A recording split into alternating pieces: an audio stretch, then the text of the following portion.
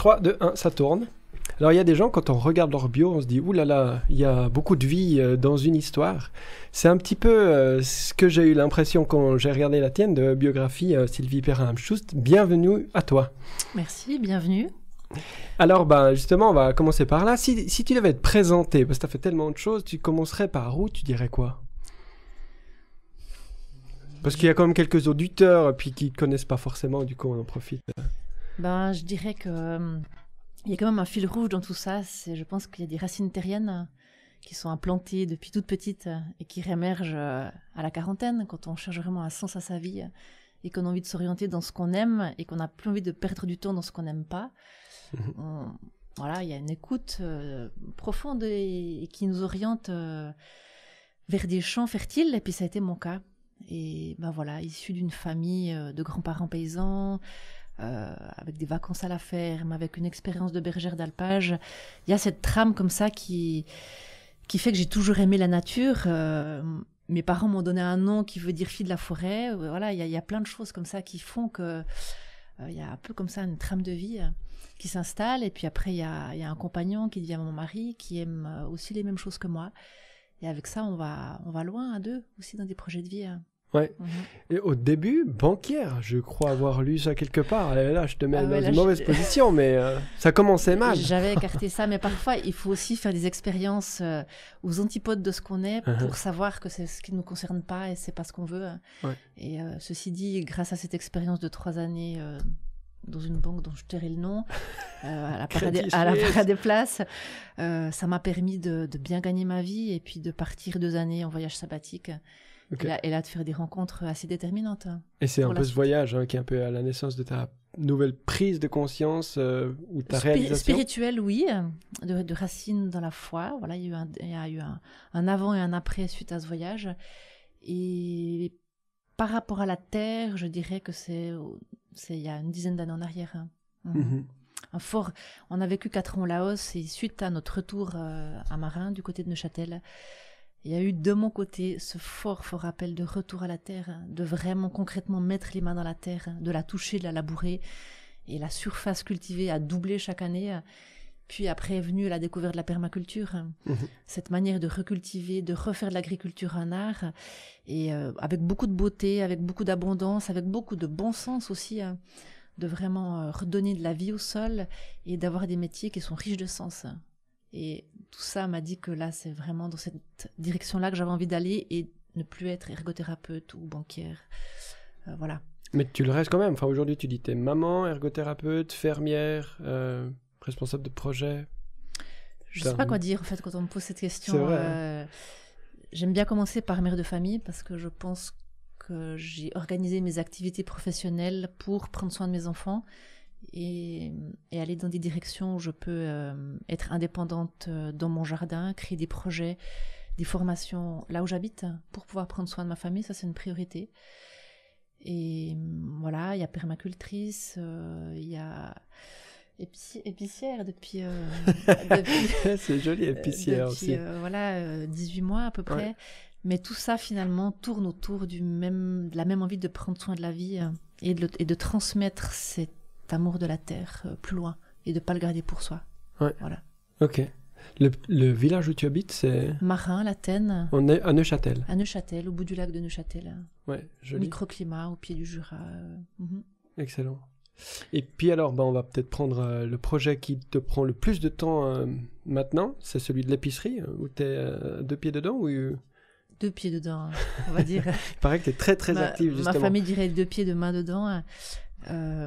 Oui, alors voilà, il y a ce projet d'épicerie. Euh, le dernier livre de Rob Hopkins, euh, initiateur des villes en transition à Totnes, son dernier livre, le titre c'est Et si, trois petits points. Et alors voilà, l'épicerie, ben c'est Et si? On faisait une épicerie, euh, pourquoi pas?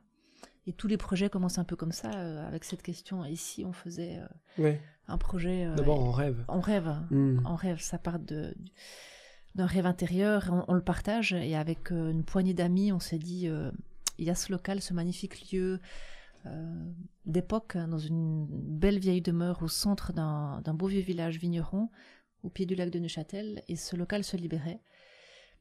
Et voilà, dans, dans, nos cœurs, à quelques amis, là, ça faisait quelques années qu'on avait parlé d'un tel projet.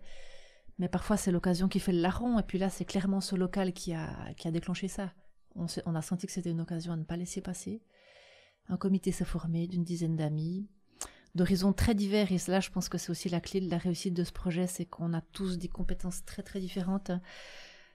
Et mis ensemble, ça, ça booste euh, un paquet d'énergie et de, Ouais, il y a ce proverbe africain qui dit que seul on va vite, mais ensemble on va, on va plus loin en fait. Et, là, on a été bien au-delà de, je dirais, après 12 mois d'ouverture, on est bien au-delà de ce qu'on avait imaginé. Hmm. Donc c'est une épicerie participative, elle a quoi de, de spécial en fin de compte? Alors participative dans le sens où il faut une adhésion, j'ai envie de dire d'abord une adhésion de cœur. Ce qu'on recherche, c'est une adhésion de temps, que les gens aient envie d'y mettre du temps et donc, il faut ben voilà, une cotisation de 200 francs à vie. Et ensuite, ben, 3 heures de temps par mois. C'est une cotisation de 200 francs à vie. C'est C'est une part, c'est une part sociale. Ah, en fait. Ok, c'est une fois. Une fois. Une participation. Une fois. Et ensuite, ben, 3 heures, 3 heures de temps par mois. Ça peut être, ça peut paraître peu. Pour certains, c'est déjà beaucoup quand on hmm. travaille à 100%. Hein. Mhm. Et grâce à ça, grâce à, ta, grâce à cette adhésion euh, et à ce travail, ça permet d'avoir des prix qui sont bien plus bas en bio le 98% des denrées sont bio dans notre épicerie. Hein. Mhm. Et euh, on est tout à fait concurrentiel par rapport à, et même pour beaucoup de produits, meilleur marché que dans des grandes surfaces. Parce que justement, il n'y a pas de salaire à dégager. Parce que toute la main-d'œuvre, c'est donc des, des membres. C'est des membres. De cette, euh, c'est une famille qui, est membre et plusieurs membres de la famille peuvent venir travailler on appelle ça des, chiffres, des services. On parle pas tellement de travail. C'est mhm. tu fais tes trois heures de service. Et du coup, il faut combien de personnes pour que combien de membres pour qu'une une épicerie de ce genre-là puisse euh, vivre? On parle en général de 80 membres au minimum pour euh, avoir un flux qui est intéressant. Mhm. Et là, la première soirée qu'on a faite euh, quatre mois avant l'ouverture, il y a eu 100 inscriptions le soir même de la soirée d'information. Donc on a senti qu'il y avait déjà un désir de pas mal de, villageois ou de personnes des villages environnants qui avaient soif d'un tel projet. Et nous, on a été très très encouragés de voir cette, euh, cette réponse en fait et ces encouragements. Et là maintenant, on est 180 familles et on arrive gentiment au bout de ce qu'on pourrait accepter au niveau mmh. de la place. Mmh. De, des flux de personnes dans l'épicerie, il faut que ça puisse circuler, qu'il y ait une, certaine aisance quand on, quand on vient faire ses, achats. Et là, on voit que certains jours, il y a, il y a beaucoup de monde. Et le but n'étant pas de grandir, euh, quand on aura l'impression que, que le nombre d'adhérents est atteint, on ne va pas chercher à déménager pour, pour s'agrandir. C'est l'inverse d'une économie traditionnelle, en fait. Ça, c'est intéressant. Mais alors, du coup, plus il y a de gens, moins il y a de travail par personne Non. Ou, pas forcément Plus il y a de gens, moins le comité travaille. Moins le comité travaille. Ça veut dire que nous, on peut aussi beaucoup déléguer euh, Mhm. C'est-à-dire qu'évidemment, la première année, le comité fondateur gère pas mal de secteurs, mais l'idée ensuite, c'est que des sous-groupes comme euh, finance, ceux qui gèrent les coopérateurs, ceux qui s'occupent mhm. des producteurs, euh, qui s'occupent d'aménager le magasin, tout ça, c'est des secteurs différents. On a envie qu'ils gagnent en puissance, qu'ils deviennent autonomes et que nous, le comité fondateur, on se dissolve presque mhm. dans ces groupes et que ça soit vraiment une gouvernance horizontale partagée. Et ces groupes ont déjà beaucoup d'autonomie à l'heure actuelle. Il y a plein de décisions où les groupes ne réfèrent pas aux autres ce qu'ils vont faire, sauf pour des questions vraiment centrales, peut-être dont on reparlera par rapport à la crise du Covid, où on a dû vraiment mhm. réagir assez rapidement. Mais c'est l'idée, et du coup, ça donne beaucoup de, créativité, de liberté, d'enthousiasme, parce qu'on a les coups assez franches et parce qu'il y a de la confiance entre nous. Hein. Comment c'est perçu euh, parce qu'il y a du coup, euh, tout le monde peut y aller, y compris les non-coopérateurs, acheter des denrées. Euh, alors, il y, a pas mal de personnes. chaque semaine, il y a des gens qui rentrent dans l'épicerie, se réjouissant de pouvoir acheter des choses et se, et se rendent compte qu'il faut être adhérent. Et le, le mot qu'on fait passer aux coopérateurs, c'est si des gens arrivent vers vous et qu'ils cherchent la caisse parce qu'il n'y a pas de caisse, il n'y a pas d'échange d'argent dans notre épicerie, donc ils se trouvent empruntés pour payer, le coopérateur propose de payer à la place du citadin et le citadin lui paye en cash. Mhm. Ça veut dire que le coopérateur débite sur son compte mhm. grâce à un smartphone et une application géniale qui a été développée. Par, vos soins? Par un, membre qui est qui est, euh, qui, est, compétent dans le domaine et mhm. qui nous a d'emblée proposé euh, qu'il nous fournirait une application euh, qui, qui est sollicitée, je dirais, loin à la ronde maintenant par d'autres épiceries parce que je pense qu'elle est unique du genre. Je vais me prononcer que pour la Suisse romande. Mais Comment elle s'appelle? C'est une application propre à l'épicerie qui s'appelle Chez Hmm. Et c'est une application qui a été faite pour avoir une gestion des stocks, une visibilité des produits et de tous les documents administratifs et de tous les membres sur une même application. Donc c'est un outil fantastique. Et, et donc voilà, on peut, on débite sur son smartphone le- les achats qu'on fait dans le magasin, mais le villageois qui viendrait, euh, curieux qu'il est, euh, visiter notre épicerie, peut acheter et, euh, et le coopérateur débite sur son compte, il se fait rembourser en cash. Voilà, l'idée c'est de, de promouvoir ce genre d'épicerie et pas d'être fermé. Ouais, bien sûr. Et d'ailleurs, on parle souvent d'épiceries ouvertes ou fermées en disant il y a des épiceries ouvertes qui acceptent tout le monde des épiceries fermées, mais Mhm. j'aime pas tellement ce terme. Nous sommes une épicerie ouverte à qui veut bien s'engager pour la faire vivre de l'intérieur et donner de son temps pour avoir des denrées accessibles, vu que c'est souvent une critique qu'on fait aux épiceries bio locales vrac, c'est qu'elles sont chères. C'est clair. Et c'est pas une critique qu'on peut nous faire, justement, parce que les, les gens s'engagent. Ouais. Donc c'est ouvert à ceux qui ont l'ouverture d'esprit de vouloir venir y travailler. Ouais. Voilà, Trois heures par mois. trois heures par mois. C'est une moyenne. C'est une moyenne. Alors nous, on est un peu plus qu'à trois heures par mois, mais Au comité, tu au dis. comité, ouais. Par rapport euh, au, choix du- du- des producteurs, est-ce que j'imagine que vous avez fixé des, des- des critères? Est-ce que là derrière, ben, c'est né aussi d'une d'une volonté philosophique de de- de- d'amener des nouveaux modèles ou euh, est-ce que peut-être tu peux parler du cheminement qui vous qui t'a ou qui vous a poussé euh, à vouloir faire ça tout simplement hein? C'est né de où? Vouloir faire euh, l- Ouais. l'épicerie? L'épicerie, ouais. C'est c'est- c'est une initiative que tu portes uni- uniquement toi Alors, je, réfléchis euh, per- personnellement parce que ça fait des années que mon, mon mari m'a dit mais vas-y, ça fait ça fait des Non, années que tu me parles de- de- Ouais. d'ouvrir une T'es épicerie. initiatrice, en ce sens. Je suis initiatrice avec euh, une autre personne euh, du comité qui a, qui a eu vent de, de ce local qui se libérait et qui a aussi recherché d'autres membres du comité. Donc là, il y a un désir personnel qui date déjà de, de plusieurs années pour moi. Et vu que je cultive aussi la terre, ça avait tout son sens pour moi d'avoir une Mhm. épicerie qui puisse promouvoir ce genre de produits, Ok. issus d'une agriculture qui engage la vie euh, et pas la mort en fait. Ouais. Pas une agriculture chimique qui détruit nos écosystèmes, mais une agriculture biologique, voire même des artisans maraîchers. Mais on n'en trouve pas assez. Dont tu en fais partie. Donc tes produits, on les trouve aussi dans cette épicerie? Par, mom- par moment, oui, de l'année, on les trouve aussi. Hein. Au même titre que plusieurs autres coopérateurs qui ont des vergers et en période d'abondance, ils, ils livrent leurs produits à l'épicerie hein, à des prix tout à fait euh, Imbattable. imbattables. ouais. Et de, vergers, et sûr, de vergers non traités qui ne sont pas déclarés bio, mais c'est des vergers non traités. Ouais.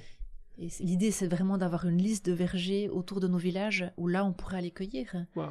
Où il y a même des gens qui, qui, qui, qui- qui sont âgés, qui peuvent plus aller Mhm. cueillir ou qui ont trop de fruitiers. Et on essaie de faire un petit répertoire pour qu'il n'y ait pas de perte. Et quitte à ce qu'on puisse même rémunérer ces personnes euh, âgées, leur dire, ben voilà, nous on vend ces produits, mais on vous rémunère aussi un prix juste parce que vous nous offrez vos vergers hein, finalement. Mhm. Et c'est de créer une communauté solidaire de citoyens qui densifie, qui cultive euh, nos territoires euh, euh, dans une optique qui est saine. Ouais. Mais alors pour revenir à ta question, pourquoi l'idée de Ouais. l'épicerie, c'est bah, recréer du lien, entrer dans un projet de transition, entrer dans une autre agriculture, entrer dans une autre forme d'économie, entrer dans une forme de résilience. Il y a tout ça Ouais, c'est beaucoup et de choses je, à la je fois. pense hein. que chacun pourrait peut-être avoir encore d'autres critères, mais là, c'est un peu les... entrer dans une autre forme de gouvernance. Aussi.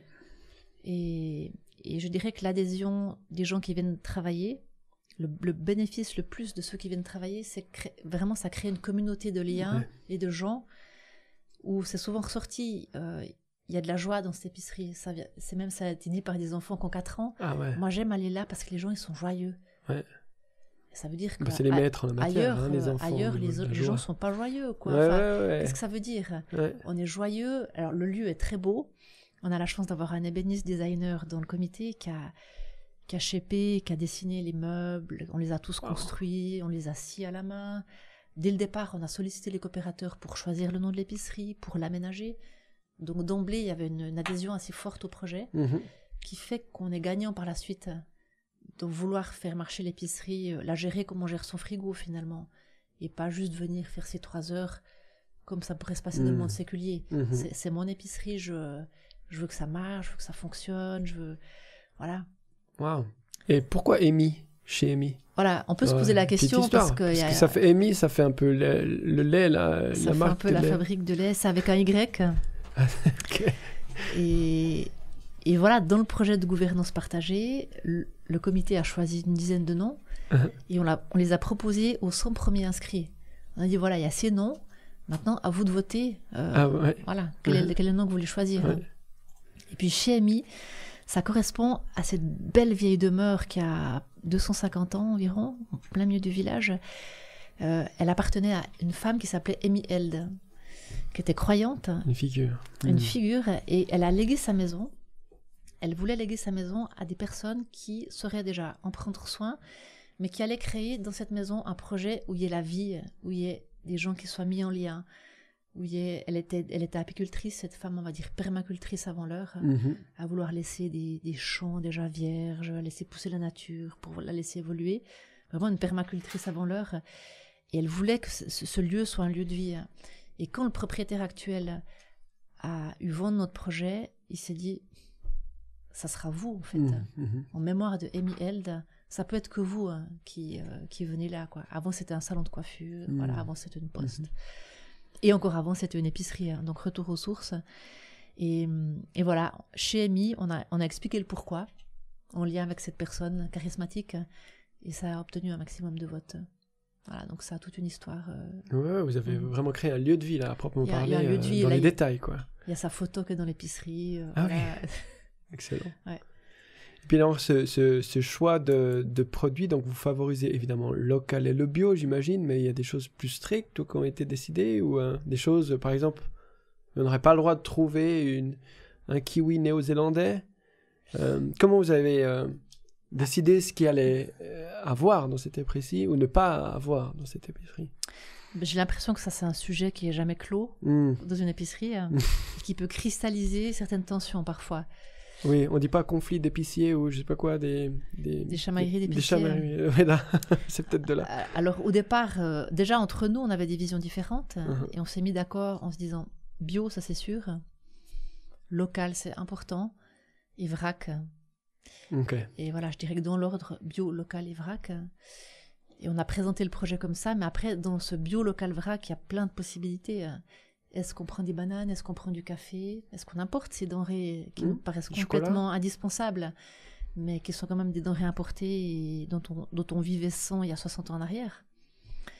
Euh, alors, euh, ceux qui sont contre des ananas ou des mangues en hiver, est-ce qu'on veut quand même ce café toute l'année euh, Voilà, se posent toutes ces questions éthiques dont on n'a Mhm. pas fini de débattre. Il y a d'ailleurs un groupe éthique qui a été Ah formé ouais. pour euh, plancher là-dessus. Mais je dirais que grosso modo, on, a, on est bien arrivé à se mettre d'accord, à privilégier tout ce qui est dans un rayon le plus proche possible autour de Saint-Blaise. Et on va en cercle concentrique, ce qu'on trouve pas sur Neuchâtel. On, on a de la peine à trouver une fromagerie bio, Mhm. donc on prend une fromagerie qui est à Rossinière et qui vient de toute façon livrer à Neuchâtel.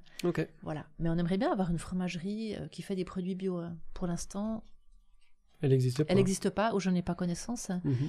Et on essaie de pas avoir trop de viande, mais on en a quand même. On essaie d'avoir du poisson du lac, des choses comme ça, avec le moins d'emballage. Donc c'est vraiment plutôt, je dirais, le- du bon sens appliqué. Et pour ceux pour qui quelques, quelques produits pourraient froisser, finalement, si ces produits se vendent pas, il y a un tri, un tri naturel qui se fait. C'est que ces produits, on les recommande pas. Mais s'il y a une demande et qu'elle concerne une quinzaine Mhm. de, de coopérateurs, alors on laissera le produit, même s'il est un peu emballé ou s'il vient Mhm. un peu plus loin. Ouais. C'est aussi finalement les coopérateurs, les épiciers qui décident. Ouais, ils sont. donc, Dans la manière dont ils euh, Il y achètent, a 180 épiciers. Voilà, ça fait, ça fait plus de 500 personnes En tout. en tout. Comment ça? C'est des familles. Parce que c'est des familles et, et c'est des familles assez nombreuses. Il y a plusieurs familles de 3 4 enfants. Ouais. Avec des grands adolescents, donc ça fait vite six adultes à nourrir avec une seule inscription. Mhm. Et donc ça fait plus de 500 personnes à nourrir. Voilà. Waouh. Et quand on cherche, parce que la démarche maintenant, c'est de chercher des terrains qu'on pourrait cultiver, ou où on mandaterait un maraîcher pour cultiver des denrées pour nous, c'est difficile. parce qu'il faut, il faut quand même plusieurs hectares pour nourrir 500 personnes à l'année. Mhm. Et on a de la peine à trouver des, des, des personnes qui seraient à même, de- ou des terrains assez grands pour, euh, à proximité de nos villages pour nourrir tout ce monde. Mhm. Donc pour l'instant, on fonctionne avec une centrale de distribution bio pour toute la Suisse, qui reste quand même une grosse machine, Mhm. mais qui a, qui a la capacité de nous livrer euh, passer 100 kilos de patates par semaine, euh, euh, 50 kilos de bananes par semaine, etc. Étape euh, par étape. Étape par étape. hein. Alors là, tu as dit que vous avez une année et demie de recul euh, là-dessus, non? Un Une année. plus Une année. On a ouvert en mai 2019. C'est dingue d'avoir euh, mis en place. euh, Mhm. Ouais, c'est quoi une coopérative? C'est quoi les- une coopérative. coopérative, ouais. Ouais. Et avec, avec recul, alors c'est un petit recul, hein, une année, mais euh, j'ai l'impression que ces projets-là, ben, finalement, c'est un peu des modèles pionniers aussi, euh, même si on existe de plus en plus, et c'est certainement pas le premier, en France il y en a aussi pas mal, mais en Suisse c'est quelque chose qui, est assez novateur, on n'a pas l'habitude, hein, par exemple, ben, dans la région ici, moi j'en connais pas, en tout cas pas euh, dans le district ou à Morges. Euh, avec le recul, ben, je trouve que tu es une bonne ambassadrice de ce genre de choses, puisque aussi euh, tu es un petit peu à la base de ce projet-là. Que- quelles sont les, la recette, si on peut dire, ou quels sont euh, les, les- les- les points importants euh, auxquels il faudrait penser, dans lesquels il faudrait s'engager si on, on entendait, ici ou ailleurs, euh, démarrer euh, ce genre de, de projet-là? Alors avec le recul, oui, t'as d'une année, année, c'est que on a accepté de démarrer cette épicerie, par exemple, sans avoir un local de refroidissement euh, convenable. On avait une cave voûtée. On s'est dit, Ouais. les légumes, ils vont, ça va plus ou moins fonctionner dans ce local euh, qu'à une température ambiante de 14 degrés, 15 degrés. Et on s'est rendu compte que l'été, ça montait quand même à 22-23 degrés et que c'était trop chaud. Et hum, par la suite, un garage s'est libéré juste à côté de notre épicerie. On a pu récupérer ce garage et là, depuis deux jours, depuis deux semaines, on vient, on vient d'y installer un système de refroidissement type cave à vin pour refroidir ce, ce local à, à 14 degrés Mhm. et ne pas acheter une chambre froide comme beaucoup d'épiceries font. hein. Ouais.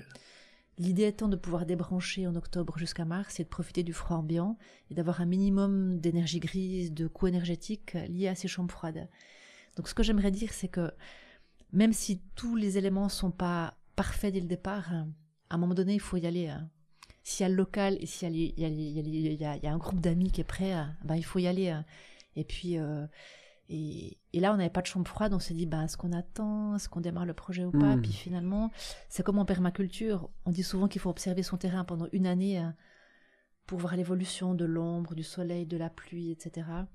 Et, et je dirais que après cette évolution d'une année, de pas avoir tout paramétré, euh, euh, nous a rendu service pour avoir cette observation de nos locaux, de voir comment ça fonctionne. Et, je dirais que maintenant, on est vraiment euh, archi opérationnel et, et on, on arrive à bien garantir des denrées fraîches, ce qui n'était pas le cas jusqu'à maintenant. Partiellement pas le cas. Mais l'épicerie tournait quand même. Et sinon, pour revenir euh, à ta question de manière plus globale, euh, à quoi il faut penser bah, Je dirais qu'il faut avoir du temps et puis pas compter son temps pendant en tout cas une année. Là, tu parles des 10 personnes Ouais, qui ont initié du- le, du- du, Bah, ça pourrait être le 7 ou comité. 6 ou, ou 11, mais que le noyau de personnes qui s'engagent s'engagent à le faire, en tout cas pendant une année, à, Mhm. à, à former. Il y a un travail de formation qui est beaucoup plus dense qu'une épicerie traditionnelle où on accepterait tout un chacun. Formé à quoi, Former, former chaque personne dans son service. Donc il y a peut-être euh, une trentaine de postes différents. hein. Entre ceux qui passent des commandes, ceux qui les réceptionnent, ceux qui nettoient, Ouais. euh, ceux qui assurent le service à l'épicerie, trois personnes par tranche horaire d'ouverture, euh, ceux qui sont finance. Voilà, il y, a- il y a plein de postes différents, il faut les former, ces gens. Et au départ, ça passe par nous. hein. Mhm. Donc voilà, ne pas compter son temps, avoir des compétences très différentes, être au clair sur le type de gouvernance qu'on veut avoir, pour qu'il n'y ait pas des, des têtes qui émergent euh, ou des leaders. Euh, L'idée, c'est pas d'avoir des leaders, c'est d'avancer vraiment Des managers, en, en ouais. compétences euh, Mhm. et de bien les répartir. Et hum, après, Mais- Toi, t'es une leader quand même. Non, dans cette histoire. Tu dis, il faut pas de leader, mais qu'est-ce que t'entends par là? Je dirais, il faut pas des personnalités. euh, Alors, on va différencier le leadership du pouvoir, Mhm. parce qu'on peut, on peut avoir un leadership et aimer le leadership euh, et se distancer du pouvoir. Pourtant, c'est des choses qu'on a mis ensemble bien souvent jusqu'à il y a peu. Et, et je pense dans la gouvernance partagée, on essaye vraiment de dissocier les, de dissocier Mhm. les deux. Mhm. Le leadership ne veut pas dire euh, Prendre le pouvoir. prendre le pouvoir. Voilà. Prendre l'initiative plutôt. Prendre l'initiative et Mhm. et l'engager. Alors dans ce sens-là, oui, je pourrais dire que, que je suis quelqu'un qui aime bien lancer des projets Mhm. et les accompagner et former et transmettre. hein. Dans ce sens-là, oui, pour créer une communauté de personnes et de citoyens engagés. Ok. Et du coup, euh, si je vais dans cette épicerie, et admettons, je suis, je suis membre, on trouve tout. Donc, on n'a plus, besoin d'aller dans les, supermarchés. Le but, c'est de remplacer complètement la grande distribution ou de créer un bout de substitution? On n'a jamais eu l'ambition de vouloir euh, remplacer les supermarchés. Par contre, on veut une alternative aux supermarchés. On veut une alternative dans les emballages, dans la qualité des produits, dans le goût. Et on veut surtout payer le prix juste pour un travail juste. On veut pouvoir euh, redonner de la, de la dignité à travers le prix qu'on paye aux producteurs. Mhm. En général, c'est des prix qu'on ne négocie pas. Donc, euh, le producteur donne son prix. Le producteur donne son prix euh, et on part du principe que c'est le prix qu'il faut qu'il soit payé euh, Mhm. à l'artisan de la terre, au paysan, à la paysanne, ce qui n'est pas du tout le cas dans la grande distribution. euh. Clairement pas. Bon, il y a une initiative là avec le lait. Là, ils font le lait, euh, c'est quoi, 2 francs la brique Je sais plus. Voilà, le, le lait équitable, Voilà, le lait équitable. qui marche assez bien d'ailleurs. Ouais vous, vous- Du coup, vous vendez aussi Mano, du... Manor vend ce lait, je crois. Ouais, je crois. Alors, bah, par exemple, si on prend l'exemple du lait, chez nous, on vend un litre de lait 2 francs 10 Mhm. et on va payer 1 franc 70 au producteur, Ah ouais, ok. à, la, à la laiterie. Ouais. Si Donc vous, là, ils pre- peuvent vivre si avec vous ça. prenez le, le lait, le lait dans, dans- chez ces géants orange, là, euh, Ouais, par exemple. voilà, voilà, par exemple, euh, vous allez payer 1 franc 85 euh, le lait bio Ouais, et ils vont payer 63 centimes au producteur. Donc c'est ça qu'on essaie d'expliquer aux ouais. coopérateurs. Oui, certaines denrées sont à peine plus chères. hein. Dans ce cas-là, 30 centimes plus cher le lait Ouais. dans notre épicerie. Par contre, vous payez 1 franc 10 de plus au producteur. Mm. Et c'est là qu'il faut clairement comprendre que, que avec son porte-monnaie, c'est un ticket de vote. On, on encourage un type d'agriculture ou un autre type d'agriculture. Et c'est sûr que si les supermarchés faisaient vivre dignement l'agriculture suisse, ça se saurait. Et c'est pas le cas. Alors, nous, c'est ce qu'on aimerait. Euh, on n'est pas du tout concurrentiel par rapport aux grandes surfaces. Par contre, Par plus- rapport à quoi? Par rapport à la, à la surface et par rapport à la, Ah, densi- à la densité d'aliments qu'on Ouais. écoule, Mm. c'est des peanuts. Ouais, je comprends. C'est 500 personnes, voilà. Mhm. Néanmoins, si chaque village a Avait. son épicerie, euh, Mhm. alors là, les choses commencent à changer. euh, Et, et voilà, par rapport au Covid, ça sera intéressant d'en parler après, mais Mhm. il y a eu plein, plein de réflexions intéressantes euh, sur à quel point on arrive à tirer notre épingle du jeu par rapport aux grandes surfaces. Donc non, on on n'ambitionne pas du tout d'être une concurrence. On veut être une alternative intéressante et proposer des produits qui sont carrément pas dans ces grandes surfaces. On a du pain au feu de bois, on a, euh, on a des biscuits maison, on a, euh, on a, Mm. des, on a Mhm. des, de la nourriture laotienne, euh, des rouleaux de printemps, des rouleaux d'été qui sont faits par des, par des artisans qu'on trouve pas dans les grandes surfaces, par exemple. Et là, on a envie de se démarquer. Il y a aussi des fromages qui sont pas du tout, qui sont présents chez nous, qui sont pas dans les grandes surfaces. On essaye de d'aller dans des petits produits de niche Ouais. qui sont pas distribuables à grande échelle. Et et voilà. Et avec les pertes, avec ces gens-là, vous achetez aussi à la base ou euh, ces gens sont payés quand on achète leurs produits? Pour des petits produits de niche comme ça, ça, ça peut être plus compliqué. Ils nous font une facture et euh, voilà, on les, on les rembourse. euh, Voilà, il y, a- il y a un lien direct. En fait, on n'aime pas passer par une centrale, on n'aime pas avoir un, pas intermédiaire. On va avoir un contact direct avec le avec l'artisan, l'artisane. Et souvent, alors moi je m'occupe de ce groupe producteur. On va voir les gens, on discute, on va voir leur exploitation. Il y a un lien qui se crée. Euh, on fait déguster les produits, on fait des apéros. On essaie aussi que la nourriture soit festive. C'est ça. Et puis Joyeuse, et, joyeuse, Ouais. typiquement, c'est typiquement ici du mouvement de transition, quoi, de, de, de fêter, de, de se réjouir autour de la nourriture, ouais. de Mhm. célébrer, et de refaire qu'il y a une réappropriation dans le fait de d'acheter. Quand vous achetez des- un produit en vrac ou une brique de lait qui est dans une bouteille en verre, le, le produit a de la valeur. Dans, un ouais. supermarché, vous en fournez dans votre chariot, euh, voilà, on- faut que ça aille vite. l'idée dans une épicerie comme ça, on peut pas aller vite, hein. on peut pas acheter vite. C'est un peu le reproche que pour certains, c'est que ça prend du temps d'acheter dans une épicerie. Il faut ses contenants, il faut ses sacs, le riz se renverse. euh, Enfin voilà, il y a, il y, a, il y a pas mal de paramètres à gérer. Il faut ramener ses contenants, il faut ramener ses bouteilles. Mais après, quand on voit qu'une poubelle, elle nous tient euh, passer deux semaines à cinq, Pas de souci. euh, Non, une poubelle, tu dis une poubelle chez, toi d'une famille de 5 personnes, euh, deux semaines Oui. par poubelle. Mhm. Voilà. Alors qu'avant, c'était une fois par semaine. Mhm. On, on voit le résultat de tout ça. Et c'est une politique des petits pas. On, on voit que d'aller à l'épicerie nous engage dans plein d'autres domaines par la suite, où on est, on est sensibilisé. Il y a des gens qui venaient en voiture au début, pour qui ça fait plus sens de venir dans cette épicerie en voiture. Donc, euh, bah, ils viennent à pied, ils profitent de promener le chien, ils viennent en vélo. On peut pas se parquer devant l'épicerie. Ouais, voilà. ouais. Donc là, vous posez une philosophie de vie Ouais, et ça, ça. donne à réfléchir et Sur plein ça peut domaines, changer hein. les, habitudes. Ouais, Vraiment. ouais c'est très global. Hein. Tu as dit tout à l'heure, euh, effectivement. Il y a... Souvent, quand on est un petit peu comme ça dans la militance ou dans la volonté de proposer de nouvelles choses, on ne sait pas par où commencer. Et je trouve que, enfin, comme tu l'expliques, en tout cas, ce projet de d'épicerie, eh ben, il y, a, il y a beaucoup de paramètres qui rentrent dedans. Il y a beaucoup de choses qui, qui sont euh, qui sont de l'ordre du changement de paradigme, euh, du rapport à l'argent, du rapport euh, au produit, du rapport euh, euh, au travail face à ce produit, au temps à disposition, euh, et, euh, aux besoins, etc. Etc. Enfin, c'est, très très inspirant. Ouais. Mais c'est vrai que le, le- le local a été le déclencheur pour nous. Oui, c'est souvent ça le lieu. On s'est rendu compte qu'il trouver fallait où. pas le laisser passer. Et puis après, assez rapidement, un groupe d'amis qui a la même vision, qui a la même envie. euh. Mais je dirais que ce groupe humain, il peut déjà se constituer bien en amont Mhm. du projet. Et quand le local euh, va être là, il faut pas le manquer. Ouais. Tout le reste suit. Au niveau de l'investissement, l'argent, quoi. Il faut, faut en avoir, parce qu'il y a un local après, ben, certainement il y a un prix. Enfin, je sais pas. euh, il faut avoir de l'argent pour lancer euh, une épicerie comme ça. Il faut avoir quelques milliers de francs. Il faut demander à la banque. Il, faut, il y a quelque chose à faire. Alors de notre côté, euh, le propriétaire de l'immeuble a été touché par le projet. Donc déjà, il nous a fait quelques loyers à blanc, le temps qu'on le rénove. Ça, c'était le premier cadeau.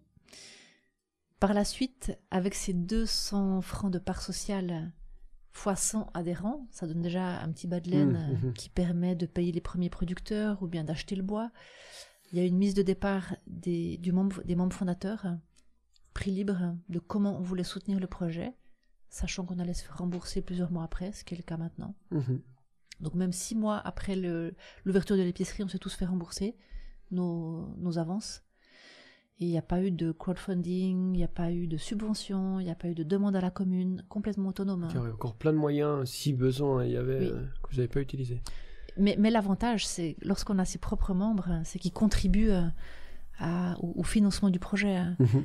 Il y a la part sociale, puis il y a ensuite l'argent qu'ils vont mettre sur leur, pro- leur propre compte avant, avant d'acheter. Et ça, ça nous permet d'avoir un certain montant pour faire les premières commandes, honorer les premières factures et achalander l'épicerie pour qu'à l'ouverture, il y ait... On avait quoi 300-400 produits déjà Ok, ça fonctionne comme ça. Il faut Voilà. mettre, enfin, enfin, on a un compte rempli. C'est pour ça que tu as donné l'exemple tout à l'heure de, du membre qui pourrait payer pour quelqu'un d'autre, parce qu'il y a Voilà. un compte où il, a y déjà un mis. compte là. où il a, mis, il a mis son argent. hein. Ok. Et ça fonctionne à l'interne. Et ça, c'est très intéressant au niveau de l'autonomie. hein. Ouais. Aucun emprunt à la banque, aucun. Voilà, c'est super gratifiant. Et puis, si tout d'un coup, vous, vous re- comment, il y aurait de l'argent en trop, ça voudrait dire que les prix diminueraient? Oui. Directement? Oui. C'est- ça la, ça la. la balance? Alors, il y a eu des aménagements à faire. Là, on arrive au bout des gros aménagements. Cette climatisation dans, dans le garage, etc. Donc c'est votre marge qui descendrait, parce que le prix du producteur ne changerait pas. C'est notre marge qui descend. Exactement. Là, on a un 20%. On s'est fixé à 20% de marge sur les produits pour payer la location et les charges de notre local. Mhm. Matériel et Voilà. autres. Et avoir une petite réserve pour euh, des mat- du matériel qu'on voudrait acheter. Mhm. Mais l'idée, et ça on l'a d'emblée dit, c'est que nos marges, elles vont tendre à descendre. hein. On aimerait pouvoir descendre à 15, voire à 10, voire à Mhm. 5%. Et peut-être même cibler d'abord les produits très très locaux. hein. Un pêcheur, un boulanger, où ces produits sont quand même relativement chers. Un pain, il est plus cher chez nous que dans une grande surface Oui. mais parce qu'il est plus dense, parce que la farine est bio, parce que un pain à, à 3 francs 50, il permet pas euh, de 500 grammes, ça permet pas à celui qui l'a fabriqué d'en vivre. Mhm. Donc euh, voilà, il y a certains produits comme ça où on aimerait euh, descendre les marges. Typiquement des producteurs euh, petits et très très locaux qu'on aimerait encourager. Plutôt qu'une grande centrale qui nous fournit des légumes où on sait qu'elle tourne. Voilà, c'est pas ces produits-là qu'on va descendre en premier. Ouais. Donc ça veut dire avoir une marge le plus juste possible pour que le prix le plus juste soit offert aux coopérateurs et le prix le plus juste soit offert aux, artisans. C'est un équilibre. Ouais. Mais dès le moment où il y a aucune envie de faire du bénéfice, on est dégagé de ça. Et je dirais que dès les premiers mois, on était bénéficiaire. On n'a jamais été dans le rouge. Euh, ça a marché tout de suite. Et d'être dégagé de ce souci financier, de pas devoir verser de salaire, mais d'uniquement euh, être- avoir des chiffres dans le noir pour simplement honorer ses factures, ça rend, ça donne beaucoup beaucoup de liberté. hein. Ouais. Mais là, il y a des idées, par exemple, on- des idées d'avoir un, un vélo cargo électrique pour pouvoir euh, à faire des livra- livraisons à domicile pour les Ouais. personnes âgées, ou euh, ça serait un privilège qu'on pourrait avoir une fois par mois. Chaque coopérateur se fait livrer sa, sa nourriture à domicile, et ça, ce serait un créneau d'un ado ou de quelqu'un qui a envie de se dépenser, euh, voilà. Et euh, ça, c'est super intéressant d'avoir quand même des projets comme ça, euh, de justement ce qu'un supermarché peut pas offrir, hein, Mm. dans, la, dans la gratuité. Tourne-moi le, le micro, on me dit, on me dit qu'il faudrait le tourner un peu plus. euh, Voilà, plus haut, un peu plus haut. un peu plus haut. Ok. On reste la bouche, quoi. Voilà. Nickel. on y revient, mais c'est parfait. Ok. Et euh, c'est- fascinant et passionnant, et je me dis, une telle plus-value, comment elle est perçue par les autorités? Dans chaque ville, il y a un conseil communal, enfin, c'est une petite ville ou autre. Mhm. Il y a une relation entre les deux, il y a une aide, il y a, il y a une volonté de quelque chose, ou c'est quelque chose qui se fait séparément? Ah ouais, il faut, il faut les cocoler, ces autorités. Donc nous, on a fait des apéros. Tu dis les cocolés. Les cocolés, il faut, Ouais. les, il faut, les, il faut les prendre avec. C'est Ouais, du ouais, je châtelois, cocolé. À mort, je vous dis pas comme ça. Ouais, faut si, les bichonner. si, peut-être vos doigts aussi, euh, il doit y avoir quelque chose. Les bichonnés, voilà. Ouais. Non, il faut présenter le projet parce que c'est sûr qu'on peut de avoir, là, on peut avoir une réputation d'être fermé, mais ce qui n'est pas le cas, comme je, Oui, c'est ça. comme ouais. je l'ai expliqué Ouais. avant. On est, fois, on est ouvert. facilement, ah, à tous, secte, euh, pour autant qu'il y ait de l'engagement. ouais. Alors voilà, ces autorités communales, elles sont venues nous voir. On a présenté l'épicerie. Euh, Il y a même un conseiller communal qui était membre de notre épicerie. Mmh, mhm. et qui a déménagé maintenant, qui est plus, membre. Mais voilà, il y a aussi des économistes dans ces conseillers communaux. Puis là, on sent qu'il y a pas mal de scepticisme Mhm. de comment une structure sans chef, qui n'est plus pyramidale, qui ne Ouais. génère pas du bénéfice, va pouvoir dans la durée être pérenne. Et là, on a vu que, voilà, attendons de voir quelques années si, si ça tourne. Voilà, c'est un peu ça. Faites vos preuves. Faites vos preuves, hein, voilà. Maintenant, il y a le gourmand du départ. Mais hum, ce qui est assez intéressant, c'est que dans la rue dans laquelle on est, euh, il y a un, un magasin de vêtements en face, il y a une galerie d'art, il y a un kiosque. Et en fait, ces trois différentes personnes sont peu à peu devenues membres en voyant le dynamisme. Parce que tout d'un coup, il y a 15 vélos qui arrivent, il y a des gens qui viennent à pied avec leurs chiens, leurs enfants, leurs poussettes. Ça crée tout un dynamisme. Et, et- et finalement, ces autres commerçants se sont dit que ce serait trop bête de ne pas pouvoir profiter d'un lieu comme ça, sachant qu'on doit se nourrir chaque jour. Et, de, et ça crée un, un dynamisme, et je dirais que ça fait ses preuves par euh, lui-même, par, par soi-même finalement. Cette vie, on amène une, une belle vie de quartier, vraiment. Absolument, ouais. Puis ces autres euh, commerçants qui sont aussi membres, du coup, ils ont un réseau aussi qui font que peut-être après les clients viennent aussi euh, Alors, c'est ce que certains ont dit, ils ont plus de monde dans leur boutique, dans leur kiosque, euh, depuis que l'épicerie est ouverte. C'est pas étonnant.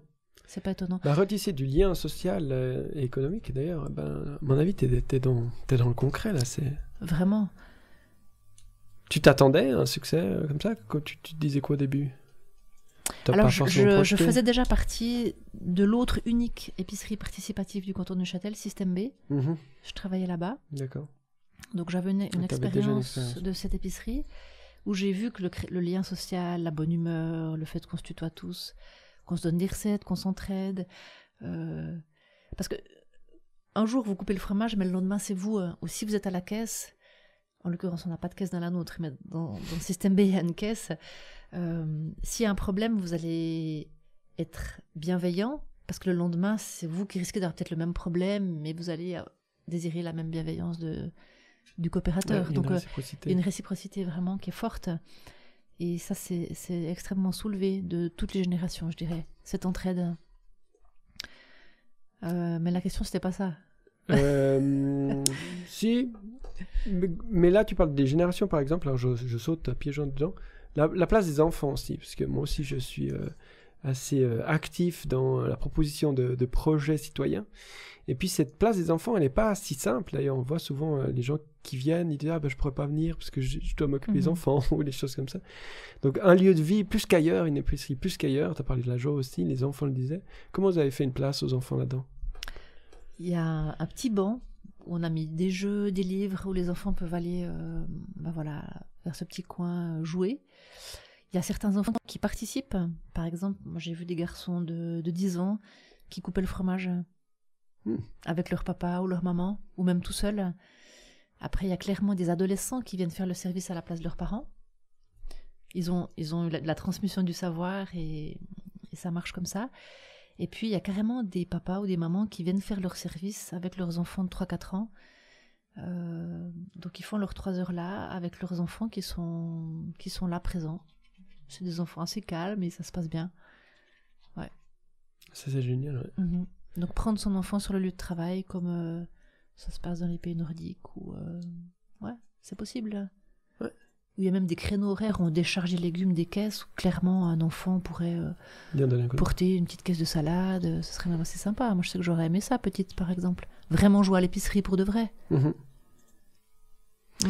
Et puis si tu regardes un peu sur le, le long terme, tu vois quoi à terme? Tu vois chaque petit village qui a sa propre épicerie. Euh, tu as quand même une vision, parce que enfin, les leaders comme toi, c'est souvent des visionnaires ou des pionniers. Euh, je me... Voilà. Euh, Bon, là, on m'a déjà bien. proposé de, c'est quoi ta vision de, de recréer une épicerie identique Oui. euh, dans mon village, Une- le village voisin. Ah ok. Là, Moi, je déjà suis pas dans le village de Saint-Blaise, je suis Ouais. un marin à côté. Uh-huh. Alors, évidemment, euh, quand ça commence à, à tourner après une année, là, j'ai- ouais. Juste envie de savourer et Ouais. de pouvoir être dans le contentement de comment ça fonctionne et de pouvoir aller maintenant dans les, dans les détails Mhm. ou de rechercher d'autres producteurs. Ça, Ouais. c'est- quelque chose que j'aime beaucoup. Ouais. Aller à l'affût, à la rencontre des producteurs de notre canton ou de. Et, Et il y en a des. et il y en a. hein, des- des fabuleux. voilà. Donc voilà, j'ai envie d'avoir du temps pour ça maintenant Mhm. et de pas euh, recommencer tout de suite à recréer notre épicerie. euh. L'idée, c'est que ça essaime ailleurs avec d'autres personnes aussi, parce que si c'est toujours les mêmes qui, qui sont à l'initiative, c'est pas le but non Mhm. plus d'une démarche de transition. C'est que ça donne envie et que les gens se forment eux-mêmes à, à tout ça. Et à savoir, dans mon village, il y a, il y a un énorme, énorme euh, supermarché. Euh, Est-ce qu'il y a de la place pour ça aussi? Je sais pas. Est-ce que les gens joueraient le jeu de venir euh, dans cette petite épicerie alors qu'à 100 mètres, il y a un grand centre? Parce qu'à Saint-Blaise, il y a une absence de supermarché, de grands il y a une supermarchés? absence de supermarché. Mhm. Alors voilà, Oui. je, je Il y sais a un pas. environnement propice, tu sais peut-être plus. Mais c'est sûr que hum, avec le, la, la crise du Covid qu'on a vécue, où là, en un soir, on s'est posé la question, on a fait une séance dans la nuit dehors parce Mm. qu'on pouvait déjà plus se rassembler. Est-ce qu'on continue d'ouvrir ou pas? Ouais. Parce que ça, ça commençait à devenir compliqué d'être autant de monde dans cette petite épicerie. On, a- on s'est rendu compte qu'on ne pouvait plus respecter les distances. Alors, que faire? Et là, en une soirée, on s'est dit, euh, Qui ont Le comité le comité, Donc vous avez la pré- prérogative de quand même décider. euh, C'est ça. C'est là où un comité reste quand même utile pour Uh-huh. prendre des décisions assez rapidement sur, euh, sur ce type, de situation et, de crise. Ouais, ouais, Voilà. complètement, ouais. Et là, on a décidé qu'on ne pouvait pas laisser les producteurs hein, les abandonner parce que leur production, elle continue. hein. Les poules continuent à pondre, les vaches continuent à donner du lait, euh, les légumes continuent à pousser. Mm. Et puis qu'on ne voulait pas laisser tomber les coopérateurs non plus. Et que Continuent à manger, eux. continuer à manger et avec cette géniale application que on pourrait créer un système où les gens commandent leur panier à la maison. Donc euh, les gens à- entre 10h et minuit, ils faisaient leur commande Ouais.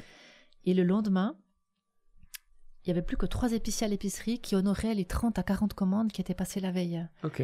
Et donc en moins de 24 heures, vous aviez votre panier que vous veniez chercher à l'extérieur l'extérieur, à ouais. l'extérieur de l'épicerie avec votre nom dessus. Et ça permettait ainsi d'avoir des distances respectées. Et euh, avec ça, on a doublé notre, euh, nos commandes et notre roulement euh, habituel. Hmm. En avril, il y a eu le double de plus de marchandises écoulées grâce à ce système. Oui. Quand il y avait de l'attente ou de la crainte d'aller dans un supermarché, chez EMI, on proposait même une, encore jusqu'à 3 heures de l'après-midi, on pouvait passer sa commande. Donc, quelques heures avant de venir la chercher, on pouvait euh, passer commande, alors que le shop proposait quatre semaines d'attente Mm. euh, pour, se faire livrer. Ouais. Et c'est là qu'on s'est dit, Mm. finalement, si chaque village ou euh, tous les deux villages avaient une petite épicerie, hein, qu'est-ce que ça voudrait dire au niveau de la résilience et des futures crises qui vont arriver? Comment on pourrait s'en sortir? On- Et on a vu qu'on n'était pas prétérité, en tout cas pas moins bon, Peut-être même favorisé peut-être même par meilleur. rapport à la décision que vous avez prise. C'est ça.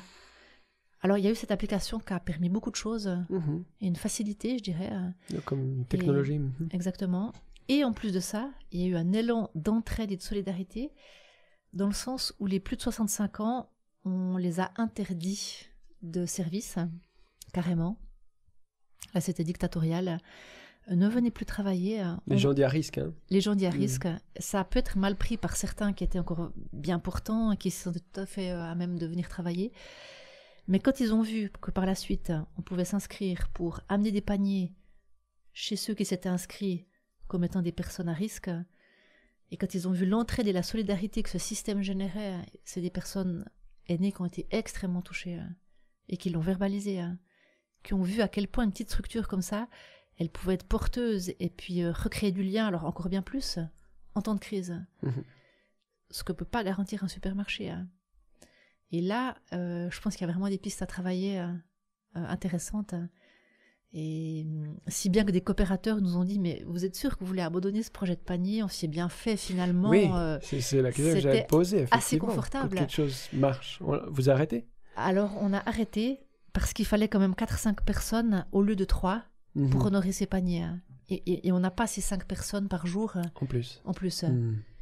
Mais on est en train de décider d'un système où un jour par semaine, les aînés, priorité à eux, pourraient commander via l'application pour avoir leur panier le jeudi par exemple. Livré en plus. Voilà, livré. Voilà, on aimerait garder le plus de ça, dire c'est ok, on n'est plus dans un confinement, mais gardons, gardons une petite plus-value de, de ce qu'on a vécu. Pour nous, Ouais. c'était une plus-value finalement. Ouais. Et puis, euh, et là, et là euh, c'était super gratifiant de se dire que après une année, même pas une année, après dix mois de route, on pouvait offrir ça à 500 personnes. Ouais, quand tu penses, c'est incroyable. C'est dingue. Cette agilité, cette Ouais, capacité de. Alors dans ce sens-là, oui, euh, si tu me demandes ce que j'ambitionne par la suite, Mhm. c'est que ça SM. Et il y a pas mal de gens qui viennent nous visiter, qui ont envie de créer des épiceries. Et là, on... ça pourrait même être un poste en soi, euh, qui a une personne trois heures par mois, qui, qui accompagne des projets, Ouais. qui fait visiter. Euh, faire visiter, ça, on a le temps de le faire en tant que comité. Accompagner des projets, c'est déjà plus dur. Ouais, ça demanderait presque euh, quelqu'un c'est avec un salaire. là, pour le Vraiment. coup. Mais c'est vraiment l'idée que tout est, euh, tout est disponible, tout est en freelance, vraiment. Mhm. Nous, on a reçu une liste de producteurs de système B. C'est pas caché, c'est pas chasse gardée. On partage parce qu'on a envie que ça SM. Et là, on est Oui. de nouveau dans une logique inverse parce qu'une épicerie. Bien sûr. Qui fonctionnerait bien, bien elle, elle dirait non, non, je garde ma recette Voilà, pour moi. les épiceries avec des salariés ne, Ouais. ne donnent pas leur liste de producteurs.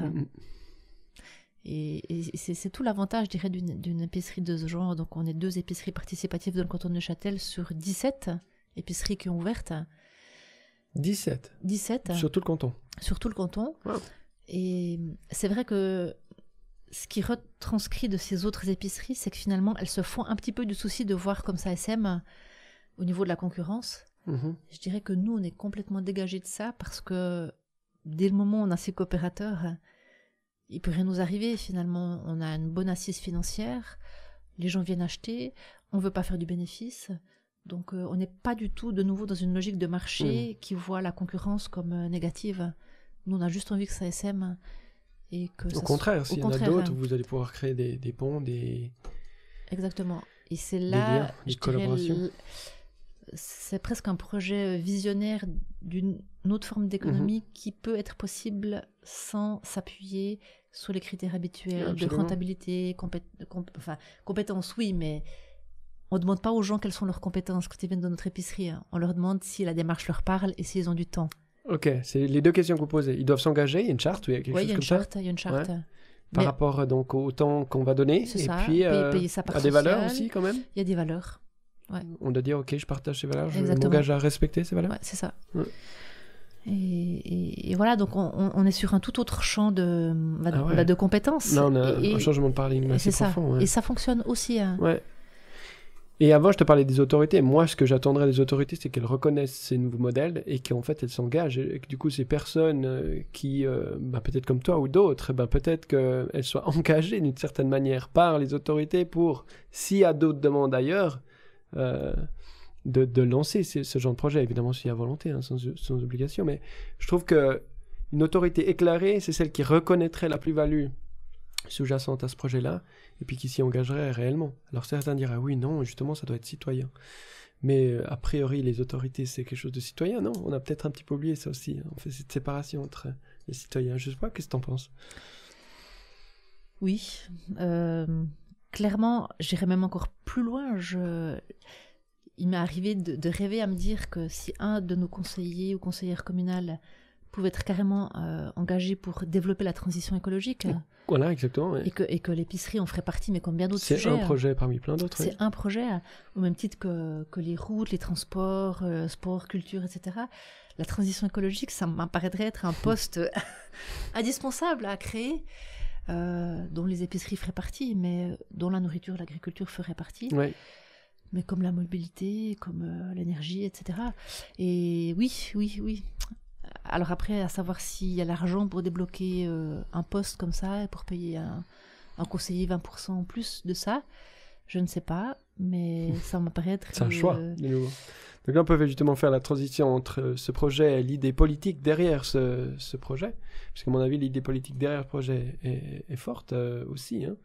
Euh, la transition, ben, elle doit, si on dit elle doit venir du bas ou du citoyen, ben c'est à travers, à mon avis, ce genre de projet qu'elle doit venir. mhm. Euh, donc après, c'est toujours la même question. Oui, mais on commence par où? Ben voilà, un bon, un bon début, non N'est-ce pas? Ah, c'est sûr, aller, hein. que les, les révolutions, elles viennent pas des gouvernements, elles viennent des citoyens. Ouais. Les gouvernements en place, euh, soit ils n'ont pas intérêt à changer, soit ils voient pas le changement venir, soit ils rêvent pas assez à- au changement. Et euh, je pense que par un défaut de vision et d'imaginaire, on reste bloqué dans un ancien système. Parce que tout est à créer et maintenant c'est un- une période juste passionnante. Mais faut-il encore euh, que des gens, euh, que nos conseillers d'État, par exemple en charge de l'économie, se soient formés à ce type d'économie permacirculaire ou euh, Mhm. différente? Et c'est pas la filière qu'ils ont suivie. Et, et je vois qu'il y, a- il y a un déficit de d'idées et d'élan De et créativité, de ouais. créativité et Mhm. qu'on n'ose pas en fait et on reste bloqué dans l'ancien système même si on sait qu'il est plus valable et qui, qui va dans le mur mais il n'y a, il y a pas l'élan et l'audace en fait de ça et c'est vrai que je crois que les citoyens ils amènent euh, beaucoup à ce niveau après il faut une certaine humilité pour reconnaître que ça peut être aussi valable Surtout si on est là depuis euh, 30 ans et puis qu'on on, on prodigue un peu euh, des recettes miracles parce qu'on est politicien puis qu'on attend ça de nous. Mais aussi il y a une structure là derrière. hein. On doit se faire réélire, donc je veux dire des trucs. Puis tout d'un coup, je devrais faire quelque chose d'autre que j'ai pas dit. De... que- il- On sent que Ouais, la structure est tellement rigide, la structure de décider, de faire, de. euh, Mais, mais, mais pour, euh, pour reprendre la, la définition de Rob Hopkins sur la transition, mettre en place le futur qu'on désire voir naître sans attendre que d'autres le fassent à notre place Mm. ou nous en donnent la permission, je pense qu'au début, ça passe par des citoyens qui n'attendent pas d'avoir la permission hein, ouais. pour stimuler par en bas. Après, la question, c'est est-ce qu'il y aura assez de projets en transition Voilà. et assez rapidement ces projets qui soient mis en place pour que, euh, on parle souvent d'un 3% de la population pour que ça fasse basculer Mhm. euh, l'opinion, dans la désobéissance civile, dans la- voilà, les luttes de Martin Luther King ou Gandhi, qu'il y ait ce 3% de la population qui, qui soit convaincue, euh, C'est ce que dit Extinction Rebellion Voilà, aussi. euh, par c'est exemple. l'espoir. Et, et bah, plus il y aura des projets de transition, plus, Ouais. plus qui, qui, fonc- qui fonctionnent et qui fonctionnent sur la durée euh, aussi. Il y a aussi beaucoup ça. de projets de permaculture qui, qui capotent après plusieurs années, mais, Mais souvent dû à la gouvernance parce que porté par justement un ou deux leaders qui, dès qu'ils sont trop fatigués ou épuisés ou parce que conflit il y a eu, euh, ben s'en vont et tout s'effondre. Enfin, moi j'ai aussi vécu des, des expériences comme ça. Oui. Euh, ça peut aussi être une des, une des raisons. Donc ouais, la durée. Mais ouais, le- tu vois le le problème de la durée, c'est qu'on n'a pas le temps. Tu vois ouais. aussi. euh, Tu, il tu il y a- l'horloge. ouais. On parle souvent, euh, on, a eu parlé de ça aussi dans, dans ce podcast, de cette dichotomie entre ceux qui prennent le temps de, de faire autrement, et puis ben, ceux de construire le nouveau monde, et puis, euh, en tout cas, ce- celui qu'on veut voir advenir, hein, avec, basé sur des valeurs euh, euh, que, tu- que tu as largement euh, partagées depuis tout à l'heure. Et puis les autres qui se battent d'une certaine manière pour arrêter ou détruire l'ancien monde, je sais pas. Est-ce que toi, tu prends position là-dessus? Il, il me semble que tu es un peu dans les deux. euh, notamment, tu es engagée aussi comme militante euh, chez Extinction Rebellion. Oui. Pourquoi? Parce que bah, je crois, je crois euh, aux outils démocratiques, mais je pense qu'ils ne seront pas suffisants. Au niveau, au niveau rapidité, Au niveau de rapidité vitesse, du hein. changement. hein. Ouais. Et cette lenteur me- m'effraie un peu, mais on ne pourra pas faire abstraction de collaborer avec euh, les cercles politiques, mais je pense que si l'impulsion, elle vient d'ailleurs et des citoyens, elle pourra accélérer les choses. Et je me retrouve pleinement avec ce que euh, Extinction Rebellion demande, à savoir que nos gouvernements disent la vérité. La vérité sur une économie qui va vers la mort et pas vers la vie. Ça, elle l'aurait déjà fait. En déclarant l'urgence climatique pour toi ou c'est pas suffisant? Mais il n'y a pas beaucoup de, il y a pas beaucoup de villes qui ont déclaré l'urgence climatique. Mhm. Ou ceux qui l'ont déclaré, qu'est-ce qu'ils en ont fait? Oui, alors c'est Voilà. ça. Mhm. Et puis après, ben, ben, alors, deuxième, deuxième, deuxième revendication, déclarer l'urgence climatique et créer des assemblées citoyennes comme ça vient de se faire en France. Et voilà, c'est des choses qui me paraissent tellement issues du bon sens Mhm. que, que ces assemblées citoyennes aient aussi leur mot à dire dans des décisions au niveau parlement- parlementaire. Ouais, complètement. Des gens qui ne soient pas sous influence. Euh, Donc en France, il y avait 150 citoyens qui ont effectivement délibéré pendant plusieurs semaines Voilà. pour arriver à toute une ribambelle de décisions et de, de, de- de- de décisions. Et puis du coup, les trois principales ont été un petit peu balayées par euh, le roi Macron. Et puis les autres, par contre, il y a plein de bonnes idées quand même et qui font avancer. Puis déjà, de voir qu'une structure comme ça peut proposer des choses Mhm. pertinentes euh, qui font avancer, je trouve que c'était un bon premier jet. Euh, maintenant, il faudrait rendre évidemment les décisions de ce Parlement citoyen, à mon avis, contraignantes. Euh, je Ouais. sais pas ce que tu en penses, mais... Parce que, bah voilà, euh, on, a vu que, que durant le confinement, le confinement, on acceptait plein de contraintes qui nous paraissaient impossibles quelques mois auparavant. Ces contraintes-là, on les a respectées. Pourquoi on n'arrivera- on n'arriverait pas, alors que la pollution atmosphérique tue bien plus que le Covid, Mhm. on n'arriverait pas à les mettre en place pour une question de survie de l'humanité Ouais. C'est ça qui est troublant, en fait. C'est assez troublant. T'as remarqué pendant le Covid qu'il y a des millions et des millions qui ont été euh, débloqués pour sauver X, Y ou Z et que la droite n'a jamais dit nous n'avons pas assez d'argent pour le coup. Enfin, c'est comme si l'économie pendant le Covid, euh, ça va certainement revenir, hein, mais euh, la, gravité et l'obligation de a fait qu'au niveau politique, il n'y avait pas de discussion. Il faut développer 100 millions pour Suisse, ou les avions, pas de discussion, on les donne. Donc il semblerait, et ça c'est intéressant selon moi, de voir que quand les gens voient la contrainte sur le bout du nez, euh, avec le Covid, là, que c'est évident, eh bien là, il n'y a plus tellement de discussion. On est d'accord de faire les choix politiques, parce que finalement c'est que ça, l'argent il, il existe parce qu'il y a un choix politique. Euh, donc ça, ça donne toi de l'espoir ou plutôt au contraire de dire mais du coup c'est vraiment à chaque fois les intérêts qu'on sauve et pas réellement le bien commun? Comment tu vois ça? Je le vois comme un bras de levier, parce que justement, en utilisant cet argent qui a été débloqué et qui n'est pas débloqué par rapport à la crise climatique, Mhm. ça questionne vraiment sur les réelles motivations du gouvernement hein, et sur le fait qu'on peut pas nous dire que l'argent n'est pas là. Et, et, et voilà, Extinction Rebellion a écrit une lettre au Parlement par rapport à ça. Ouais. Euh, sur cette... euh, sur cette dichotomie entre, entre une urgence économique à sauver, mais une urgence euh, Mhm. climatique bien plus dramatique Mhm. durant ces prochaines décennies, qui paraît pas urgente à, à- à sauver ou à, à déclencher, en fait, comme Mhm. manœuvre. Et c'est compliqué, c'est une problématique vraiment complexe, mais ce qui m'interpelle, c'est plutôt quand même le pourcentage de citoyens qui n'est encore pas prêt à se mettre en route par rapport à ces questions de transition. Mhm. euh, Pourtant, ils sont prêts à rester chez eux du jour au lendemain, puis à mettre des masques partout. Il me semble qu'au niveau de la contrainte, c'est assez fort aussi. C'est comme si on supporte plus la contrainte que le fait de se mettre en marche personnellement. Cet activement, engagement dont tu parlais tout à l'heure. réfléchir euh, à, à- à ce qu'on veut pour la suite, Mhm. à quel avenir on veut. On accepte plus la contrainte, nos- la limitation de nos libertés, que de se mettre en marche pour créer un autre monde qui est vraiment à créer maintenant. Et c'est interpellant quand même, cette, cette passivité euh, intellectuelle, je dirais, hein.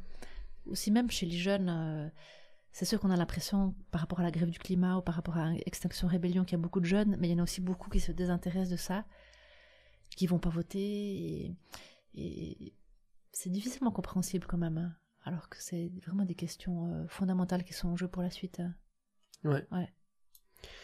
Euh, il y a, euh, toi, tu es aussi ergothérapeute, je sais pas si tu l'es encore. Sous le papier, Sur le papier, mais tu officies encore comme... Franchement, je sais pas vraiment ce que c'est, à part que, ben, il y a un peu cet art de l'occupation ou de... ré- rééducation par l'activité. Ré- Ok. Est-ce Voilà. que tu, tu... Ouais, parce que tout ça, ça fait sens, hein, je trouve. hein. Tu, toi, toi, tu... Tu es une bonne cordonnière bien chaussée, parce que normalement le cordonnier est mal chaussé, mais toi, tu as, une activité, j'ai l'impression, très équilibrée. Enfin, tout, tout ce que tu fais est lié. C'est, tu vois, ton activisme, tu crées cette épicerie, en même temps, tu es paysa- paysanne d'une certaine manière, tu crées des jardins, etc. Euh, c'est assez intéressant. Est-ce que tu peux parler un peu de cette, euh, cette activité d'ergothérapie ou comme voilà. Bah voilà, j'y connais je- rien. je l'ai exercé pendant six ans. Ensuite, on est parti au Laos, où là, j'ai fait d'autres choses au Laos, agrandi la famille notamment. Et quand je suis revenue euh, en 2010, j'avais vraiment cette conviction, comme je te l'ai dit, de retour à la terre, mais de plus retourner sous des néons à l'intérieur et dépendant des assurances maladie et des médecins. Mhm. J'avais envie vraiment cette quête de liberté, euh, d'être indépendante et, et d'avoir plus de sens. C'est un métier que j'ai aimé, mais il n'a pas rempli le sens, en fait, en moi. Mais par contre, là, j'anime des ateliers en permaculture pour des 6-10 ans. Et en ergothérapie, on, on nous apprend vraiment à décortiquer l'activité pour l'adapter aux fonctions du handicap. Mhm. Et là, je vois que, que, que, en fait, je suis sans cesse en train de faire ça quand je fais des ateliers avec des enfants. Je complexifie, je simplifie, Tu l'as intégré en fait dans euh, ta complètement. pratique. euh, Complètement. Même Et si même, ça s'appelle plus comme ça. et même avec des adultes, quand j'anime des ateliers avec des adultes, euh, il y a toujours dans ma tête des alternatives pour continuer, prolonger, pour raccourcir. Et, et ça me rend service, c'est vrai. Finalement, on est toujours là, on est la somme de, tout ce qu'on a été dans, tous les domaines de nos vies. Et c'est vrai que ça fait sens, j'arrive à l'utiliser. hein. Ouais. Et là, j'avais fait une formation d'accompagnatrice en montagne en parallèle. Et ça aussi, c'est vraiment quelque chose que j'utilise énormément au niveau botanique, faune, météorologie, connaissances. On est vraiment des généralistes de la montagne. Et ça, c'est quelque chose que déjà j'arrive à transmettre à ma famille, qui m'émerveille moi-même parce que je vois plus du tout la nature la même chose. Et, et, et du coup, Parce que t'es guide de montagne aussi. de moyenne ça, montagne. de ouais. moyenne montagne. Et du coup, ça ça fait un tout justement avec euh, la connaissance des plantes, la connaissance du sol, Mhm. comment redonner vie au sol, comment viser la souveraineté alimentaire dans nos villages. Ça aussi, c'est un sujet dont on parle jamais. Ouais. Qui, qui dans ces campagnes parle de l'autonomie alimentaire? Qui Ouais. parle de souveraineté alimentaire? On a essayé d'en parler un peu, la souveraineté. euh, on avait voté en Suisse euh, là-dessus. Il y avait une initiative de. euh, C'était qui euh, ça, ça te dit quelque chose, euh, Mathieu? Non? Ouais, il y en avait même deux. Et puis le peuple suisse avait rejeté. euh, Oui. C'était l'automne euh, Voilà. 2018, on avait voté là-dessus. Ouais. Bah, typiquement, là, euh, il y, a un- il y a un gros enjeu sur notre commune 24 hectares de terres agricoles. Mhm. Des excellentes terres agricoles Mhm. sur lesquelles mon grand-père travaillait. Il m'a toujours dit c'est les meilleures terres des paniers. Et là, il y a un projet piloté par la Confédération, le canton, pour faire un centre, de, un pôle économique. Donc bétonner ces terres, Ouais. faire le troisième, troisième Pôle pôle, économique. économique, euh, est du canton de Neuchâtel. Donc on continue. euh, On droit dans continue dans les Alex, si t'arrives à retrouver les résultats de cette votation, euh, s'il te plaît. Et, euh, et là, typiquement, bah là, je, je vais m'engager personnellement pour que déjà ça soit voté par les citoyens.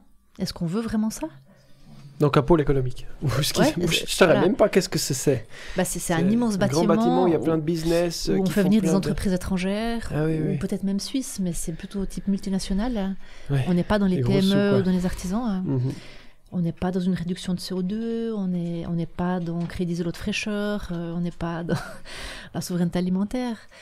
On, on continue le business euh, as usual, Les gens, quoi, vraiment. Mhm. Et hum, c'est pénible.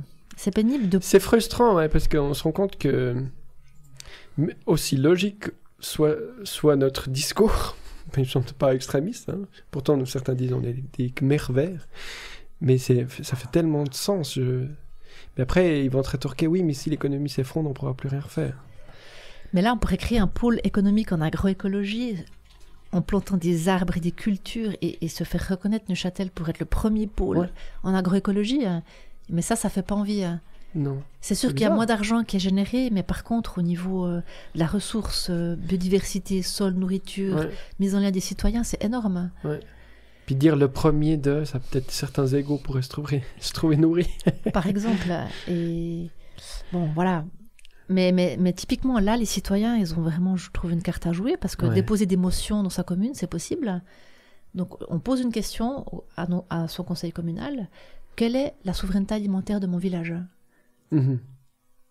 J'aimerais cette réponse. Je ne sais pas, Ouais. dans mon village, à quel point on est souverain. Et voilà, ça, c'est des choses euh, que j'aimerais activer parce que c'est des outils qui sont à notre portée. euh, Ouais. et- Alors attends, et, euh, on a voté, c'était quand? Donc en 2018 Je je sais pas. Donc c'était l'initiative populaire euh, pour la souveraineté alimentaire. L'agriculture nous concerne tous et tous, et toutes et tous. Et c'est vrai que quand j'avais voté, comme naïvement à chaque fois, je me dis mais oui, il n'y a pas d'argument pour contrer ça. C'est genre on arrête de, vendre des armes. Mais, mais oui, évidemment, il n'y a pas d'argument. Puis non, en fait non, on vote non. Et donc le, le peuple suite a dit non à 68,4%.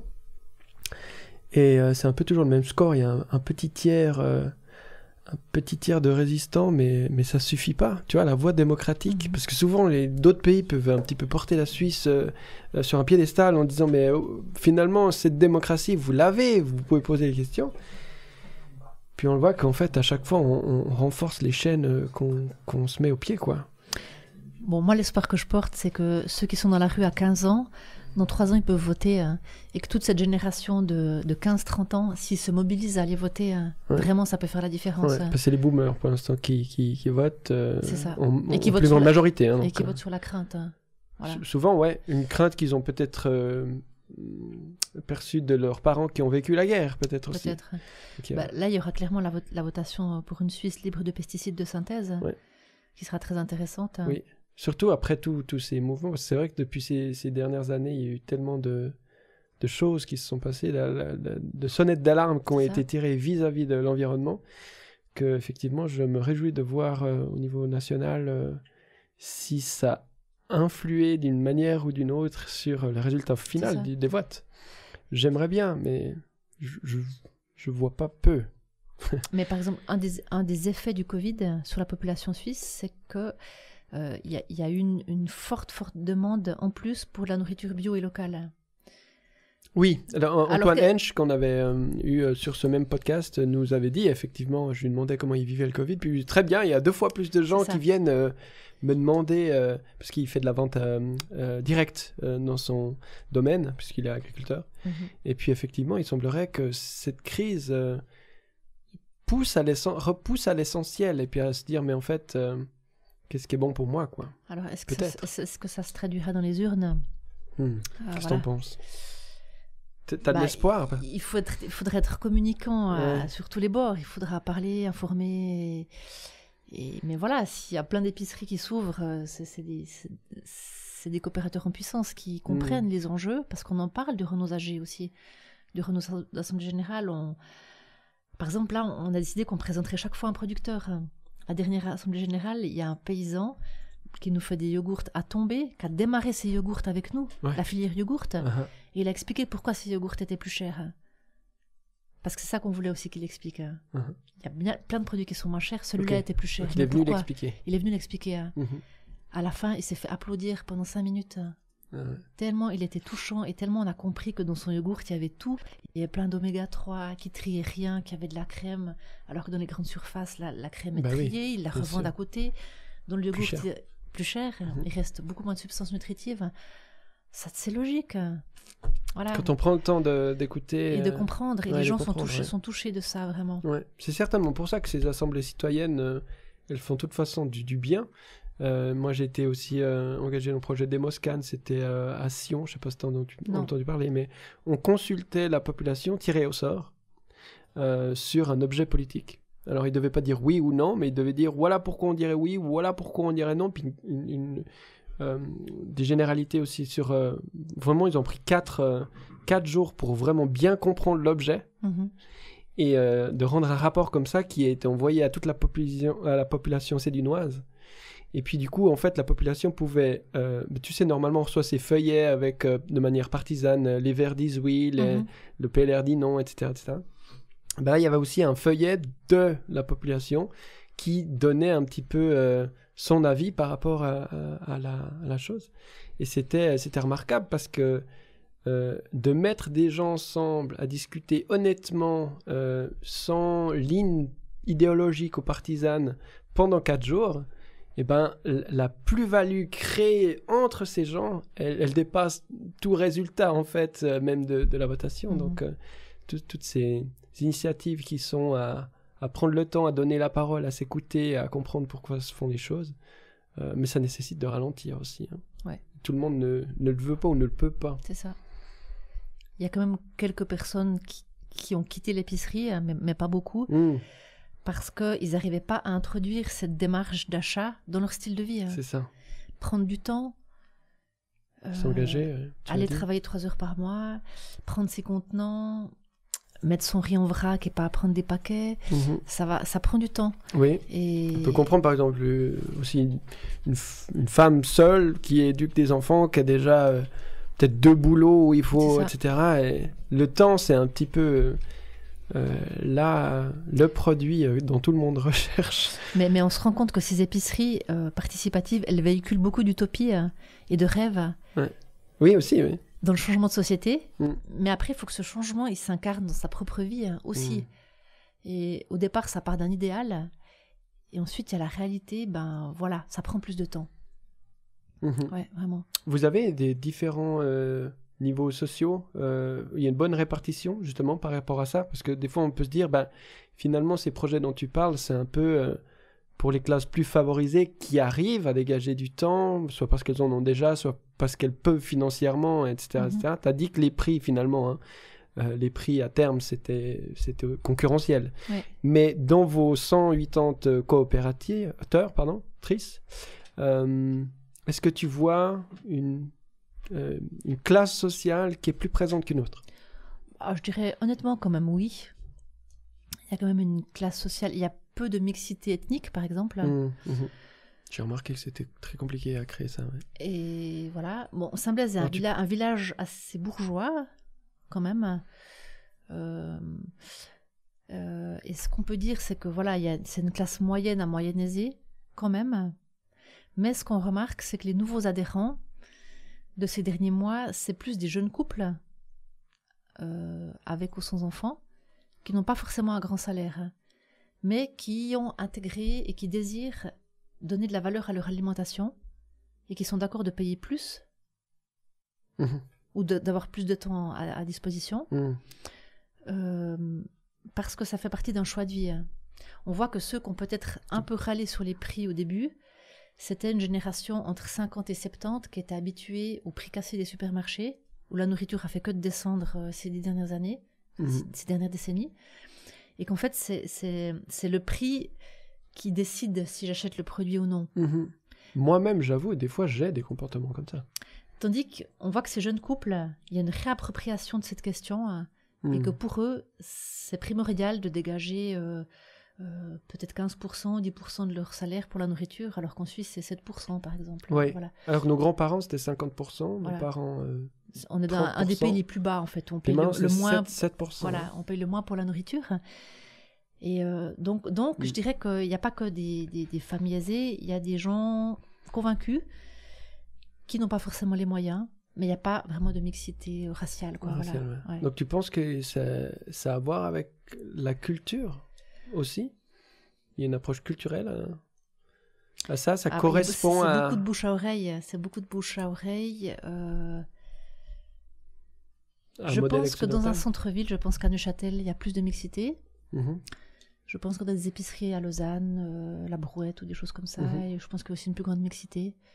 Euh, mais il faut déjà avoir aussi la réflexion de se poser la question de, de sa nourriture, de comment est produite la nourriture, de voilà, de tout ça. Mhm. Ouais. Ouais. Il Moi, faut je qu'il faut qu'il y ait un cheminement au départ, j'imagine quand même. J'imagine, ouais. Ouais.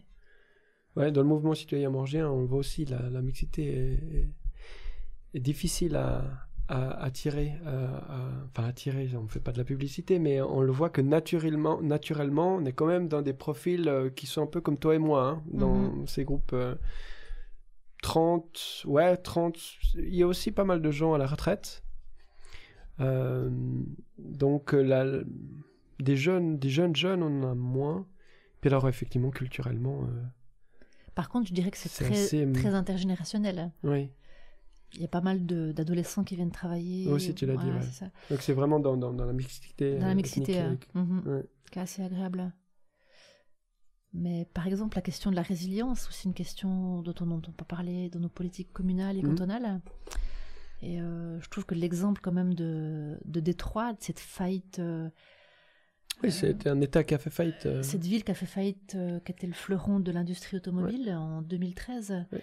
qui avait 18 milliards de faillites et qui a entraîné, euh, qui a démontré vraiment un, un paradigme de non, de non-résilience urbaine, où il y a eu, euh, ça a passé de 1,8 million à 700 000 habitants. Donc il y a eu un exode de gens qui avaient plus de travail, Ouais. il y a eu des quartiers abandonnés, euh, il y a eu des supermarchés confirmés, des lignes de bus qui se sont arrêtées, vraiment une ville à l'abandon. hein. ouais, Et, fantôme. et- et qu'est-ce qu'ont fait ces gens hein? Se réapproprier. euh, eh ben, ils ont recréé des collectifs et ils ont recultivé la terre parce qu'il fallait manger, hein, Ouais. parce que les supermarchés étaient fermés. Donc ils se sont réappropriés des friches urbaines ouais. et ils, Et ont, not- re- ils ont recultivé. hein.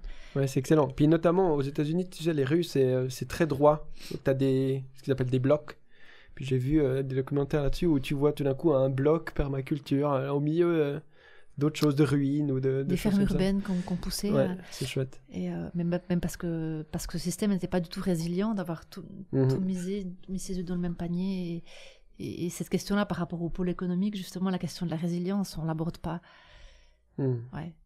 On, on mise sur la même forme d'économie et. euh, Ouais, mais du coup c'est intéressant cette résilience. Pourquoi on l'aborde pas Euh, Et puis je vais aller sur le, le sujet qu'on a, as évoqué tout au début, hein, quand je t'avais parlé de, de, de voyage et puis d'une certaine manière d'une réalisation que tu as fait. Tu as dit oui, mais c'était plutôt spirituel. Eh bien à mon avis, la résilience est quand même reliée à la spiritualité, mais pas dans le sens dogmatique et religieux, mais plutôt dans le sens de euh, son rapport à la vie et donc à la mort. mhm. Qu'est-ce que tu en penses par rapport à ça? Est-ce qu'on peut revenir un petit peu sur cette réalisation que, que tu as eue pendant un voyage, je crois, dans une forêt Est-ce que tu peux un peu en parler? Puis finalement, qu'est-ce que ça veut dire pour toi euh, croire ou euh, spirituellement être éveillé Ou je sais pas comment Mhm, toi tu mhm. l'exprimes d'ailleurs. Mhm. C'est un peu tabou ça d'ailleurs, dans, dans, même dans les milieux activistes. Parce que déjà, on se fait considérer un petit peu comme sectaire parce que minoritaire, j'imagine. Euh, mais dès qu'on parle de la spiri- spiritualité, là là, il y a toute une génération qui se sent mal à l'aise et c'est un sujet euh, souvent un peu complexe à approcher. Alors, Vas-y, euh, ce serait sens-toi intéressant de savoir pourquoi ça les Ouais. met mal à l'aise comme ça. Hein, Mais oui, c'est sûr que la résilience, elle, elle parle du long terme, elle parle de cette capacité d'encaisser les chocs et de viser la pérennité. Et puis, bah, il y, a- il y a un passage biblique dans un livre très compliqué que les gens ne lisent pas d'habitude, c'est le livre du Deutéronome, qui dit Je prends à témoin contre vous le ciel et la terre, ce que vous avez fait au ciel et à la terre. Je mets devant toi la vie et la mort, la bénédiction et la malédiction. Choisis la vie pour que toi et ta postérité vous viviez. Mais si ça, ça parle pas de ce qu'on vit maintenant, alors ça parle de quoi? Pour toi, c'est clairement euh, quelqu'un qui est un visionnaire qui avait compris déjà la problématique. Ben c'est que c'est qu'on est amené à ben, un des premiers passages de Genèse, c'est quand même de prendre soin de la terre et de la cultiver. On a retenu le dominer. Hmm, Mais prendre soin de nous, en Mais fait. régner, ça, veut, ça veut pas dire dominer. Prendre soin, prendre soin et cultiver, une- euh, Mhm. c'est servir. Le Christ, c'est rien d'autre que servir. Alors, Donc toi, tu es plutôt de foi chrétienne, oui, du coup. Mhm. Oui. Donc, euh, bah oui, dans cette résilience, il y a la notion de servir et de, et de viser la pérennité dans nos sols, euh, dans nos vies. Et euh, forcément que l'économie euh, telle qu'elle va maintenant, elle va pas dans ce sens-là. Non. Ça, c'est sûr. Mhm. Et je comprends pas pourquoi on a de la peine à parler de résilience. C'est. Quand on a des enfants, on n'a qu'une seule envie, c'est de créer de la résilience Mhm. de les armer, de les éduquer pour qu'ils soient résilients, pour qu'ils rebondissent, pour que la pousse casse pas, qu'elle plie mais qu'elle se redresse. Et, Mhm. et on n'arrive pas à créer une société comme ça. On le sait, on n'arrive pas à Mhm. changer. C'est très interpellant. Après, euh, voilà, bah, il y a eu ce voyage où euh, je suis partie faire de la voile, faire des voyages de bateau d'une île à l'autre. Je me suis arrêtée sur une île. Je n'étais pas du tout engagée ni croyante. Euh, et puis là, j'ai quand même de la peine à, à expliquer ce qui s'est passé, mais mais il y a eu une rencontre Mhm. très forte C'était dans le ressenti. Ah, dans euh, l'ordre du ressenti, vraiment. Où euh, j'ai l'impression que j'étais sur un trapèze et que j'étais amenée à lâcher ce trapèze. C'est probablement le trapèze de mes certitudes. Pour me lâcher dans le vide et, et m'abandonner, en fait. Et, et je pense que quand on part en voyage seul, on est un peu dans le dénuement, on n'est Mhm. plus dans les, dans les croyances familiales ou dans, dans ses cercles d'amis. Et on arrive à avoir un beau- des beaux moments de solitude avec soi-même et à réfléchir au sens des choses. Et là, ben voilà, j'ai été interpellée de cette manière-là. Et euh, il y a eu clairement un avant et un après où, où euh, ben, je suis descendue de mon piédestal, on va dire. Voilà. T'as lâché donc, J'ai- le trapèze. j'ai lâché, ouais. Tu Et savais pas s'il y a un filet, si? Pardon? Tu savais pas s'il y avait un filet. Je savais pas s'il y avait un filet. Non, j'ai senti très fort qu'il fallait que je lâche, vraiment. Et voilà, et, et par la suite, euh, ça, ça, C'est- ça, ça a tout changé. Ça a changé, euh, voilà. Quoi, c'est une quête de sens ou une foi? Bah, il y a une foi, y y a une qui est, qui est, qui est née, une- un questionnement. Et euh, bah voilà, ces réponses, je les ai trouvées. C'est intéressant parce que tu mets foi et questionnement ensemble. Oui. Or, théoriquement, dans le sens, la foi, ce serait le non-questionnement, non, Ah non? Alors, non, c'est euh, intéressant non, parce que la la foi- foi, c'est d'avoir l'espoir que quoi qu'il arrive, ça se passera bien, mais peut-être je peux très mal, mais tu donneras ton, ta définition. Puis le questionnement, justement, c'est le doute et l'incertitude, mais euh, tu les as mis ensemble, je trouve ça. Ah, mais Fascinant. toujours, toujours maintenant, 20 ans après, euh, c'est indissociable. Pourquoi Parce mm, la définition de la foi, c'est croire sans voir.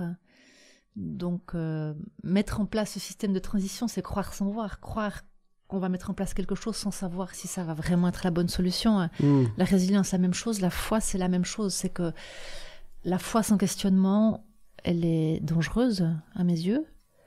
Donc le questionnement de, du sens de ma vie, de comment elle se dirige, de comment je l'applique dans Donc la quête de sens. la quête de sens et de comment je comprends la parole, donc la, la Bible, et je la mets en pratique, c'est un questionnement de chaque jour. hein. Et, et sans ça, voilà, je trouve que ça va, ça va vers du, du légalisme et des extrémismes qui me paraissent être vraiment dangereux.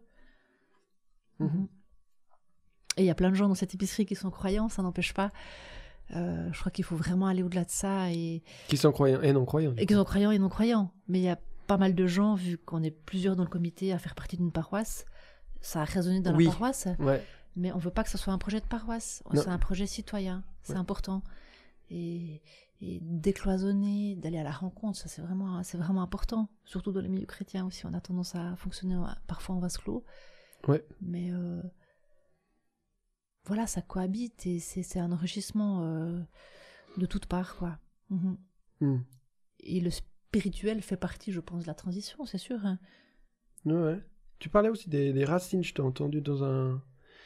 De, je crois, ton dernier interview sur la RTS, et puis t'as- t'allais loin, t'as évoqué les Huguenots, et, Oui. euh, et ça, m'a parlé parce qu'en fait, m- moi j'ai pas vraiment cherché mon histoire, je devrais un peu plus, mais je suis issu aussi de, des, des Huguenots qui se sont font euh, en 1800, c'est quoi, non, 1685, chassés par l'édit de Nantes, mais je Ouais, peux dire n'importe quoi, c'est juste C'est juste. et euh, du coup, ce, ce- ce peuple en fait protestant qui a Mhm. été chassé par les catholiques. C'est ça. Euh, voilà. Et puis pourquoi c'est important pour toi d'avoir comme ça cette connaissance des, des racines peut-être? Bah, je trouve c'est important de connaître d'où on vient pour savoir d'où on va. Pas mal. Et, et, et j'ai la chance d'avoir un herbe généalogique du côté de ma grand-maman, qui était une cuche. Et voilà, cuche, Perrin, c'est deux racines, deux familles huguenotes. Et quand Oui. on s'intéresse à l'histoire huguenote, on se rend compte que ben, la prospérité ou le succès qui ont fait la Suisse, euh, Suchard, les banques, le chocolat, c'était des huguenots en fait.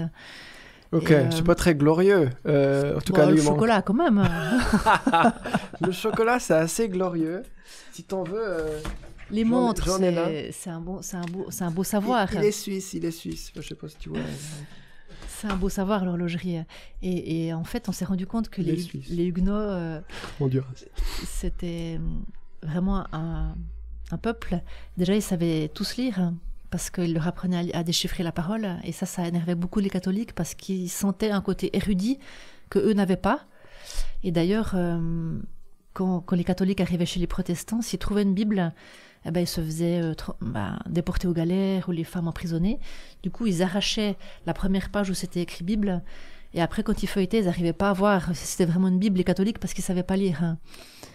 Ah, ok. Voilà. Mais on peut quand même dire si c'est une Bible ou pas, non? Même sans lire. non? Bah voilà. Ok.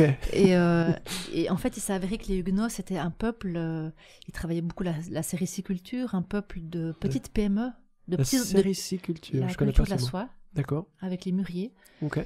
Voilà, ils faisaient de la soie dans les Cévennes. Ouais. et, euh, et plein d'autres métiers, mais souvent des gens qui étaient entrepreneurs.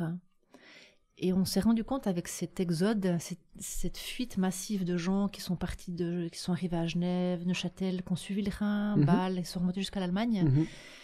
qu'ils ont exporté avec eux ce savoir et cette euh, autonomie d'esprit, cette liberté euh, avec eux. Et certains historiens français disent que la France s'est jamais remis en fait de cet exode de gens euh, entreprenants, Érudits. entreprenants. Entreprenant surtout. Voilà. D'accord. Et, et en, en étudiant ça, je, je me, je me retrouve un petit peu dans ces racines finalement de gens euh, créatifs, Mhm. qui ont un savoir, qui veulent le transmettre, qui ont des valeurs, Mhm. qui veulent Mm. prendre soin de la vie au sens large, Mhm. de la terre, mais de la pérennité, Mhm. des liens. Pas forcément faire de l'argent, je dirais, parce qu'au départ, euh, c'était des paysans horlogers. Euh, à la Sagne, euh, c'est ma, commune d'origine, les ponts de Martel. euh, dans les fermes, au premier étage, il y avait un petit bureau d'horloger. Et ils faisaient des montres, mais ils étaient aussi paysans. Il y avait une belle complémentarité Ah dans, ouais. les, dans les métiers. C'était, on n'était pas dans l'économie euh, Mm. telle qu'elle est actuellement. Capitaliste. Voilà, c'était un savoir-faire vraiment, de gens qui travaillent bien ce qu'ils font, Mhm. quoi.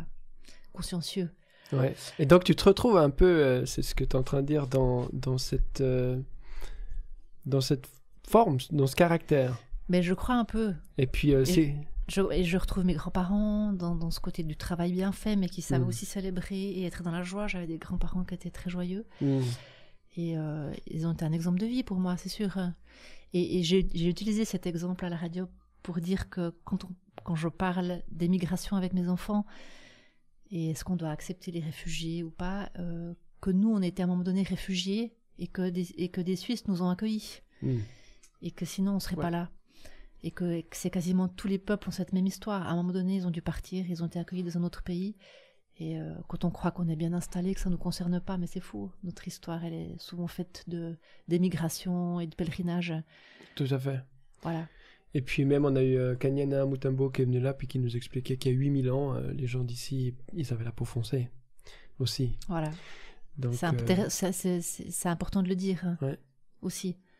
C'est clair, on, l'oublie un peu l'oublie, trop, trop facilement aussi. euh, on l'oublie parce qu'on veut bien l'oublier, mais... Ouais. Hmm. Donc ça, on va dire que c'est euh, le bon côté des Huguenots et du protestantisme. Ce- et d'une foi incarnée, je trouve. Ok. voilà. Puis le mauvais côté alors, ce serait quoi? Des Huguenots? Ouais. Aucun. Aucun, c'est parfait. Non, ben je sais pas, il faudrait que je discute avec eux. mais- D'autocritique. Mais, mais alors si du coup, si tu faisais une autocritique aussi de de- toi, de qui moi. finalement peut-être euh, porte de... C'est mettre beaucoup de, de poids sur tes épaules. Hein. Mais L'héritage huguenot, que- quels sont euh, les points négatifs à tout ça?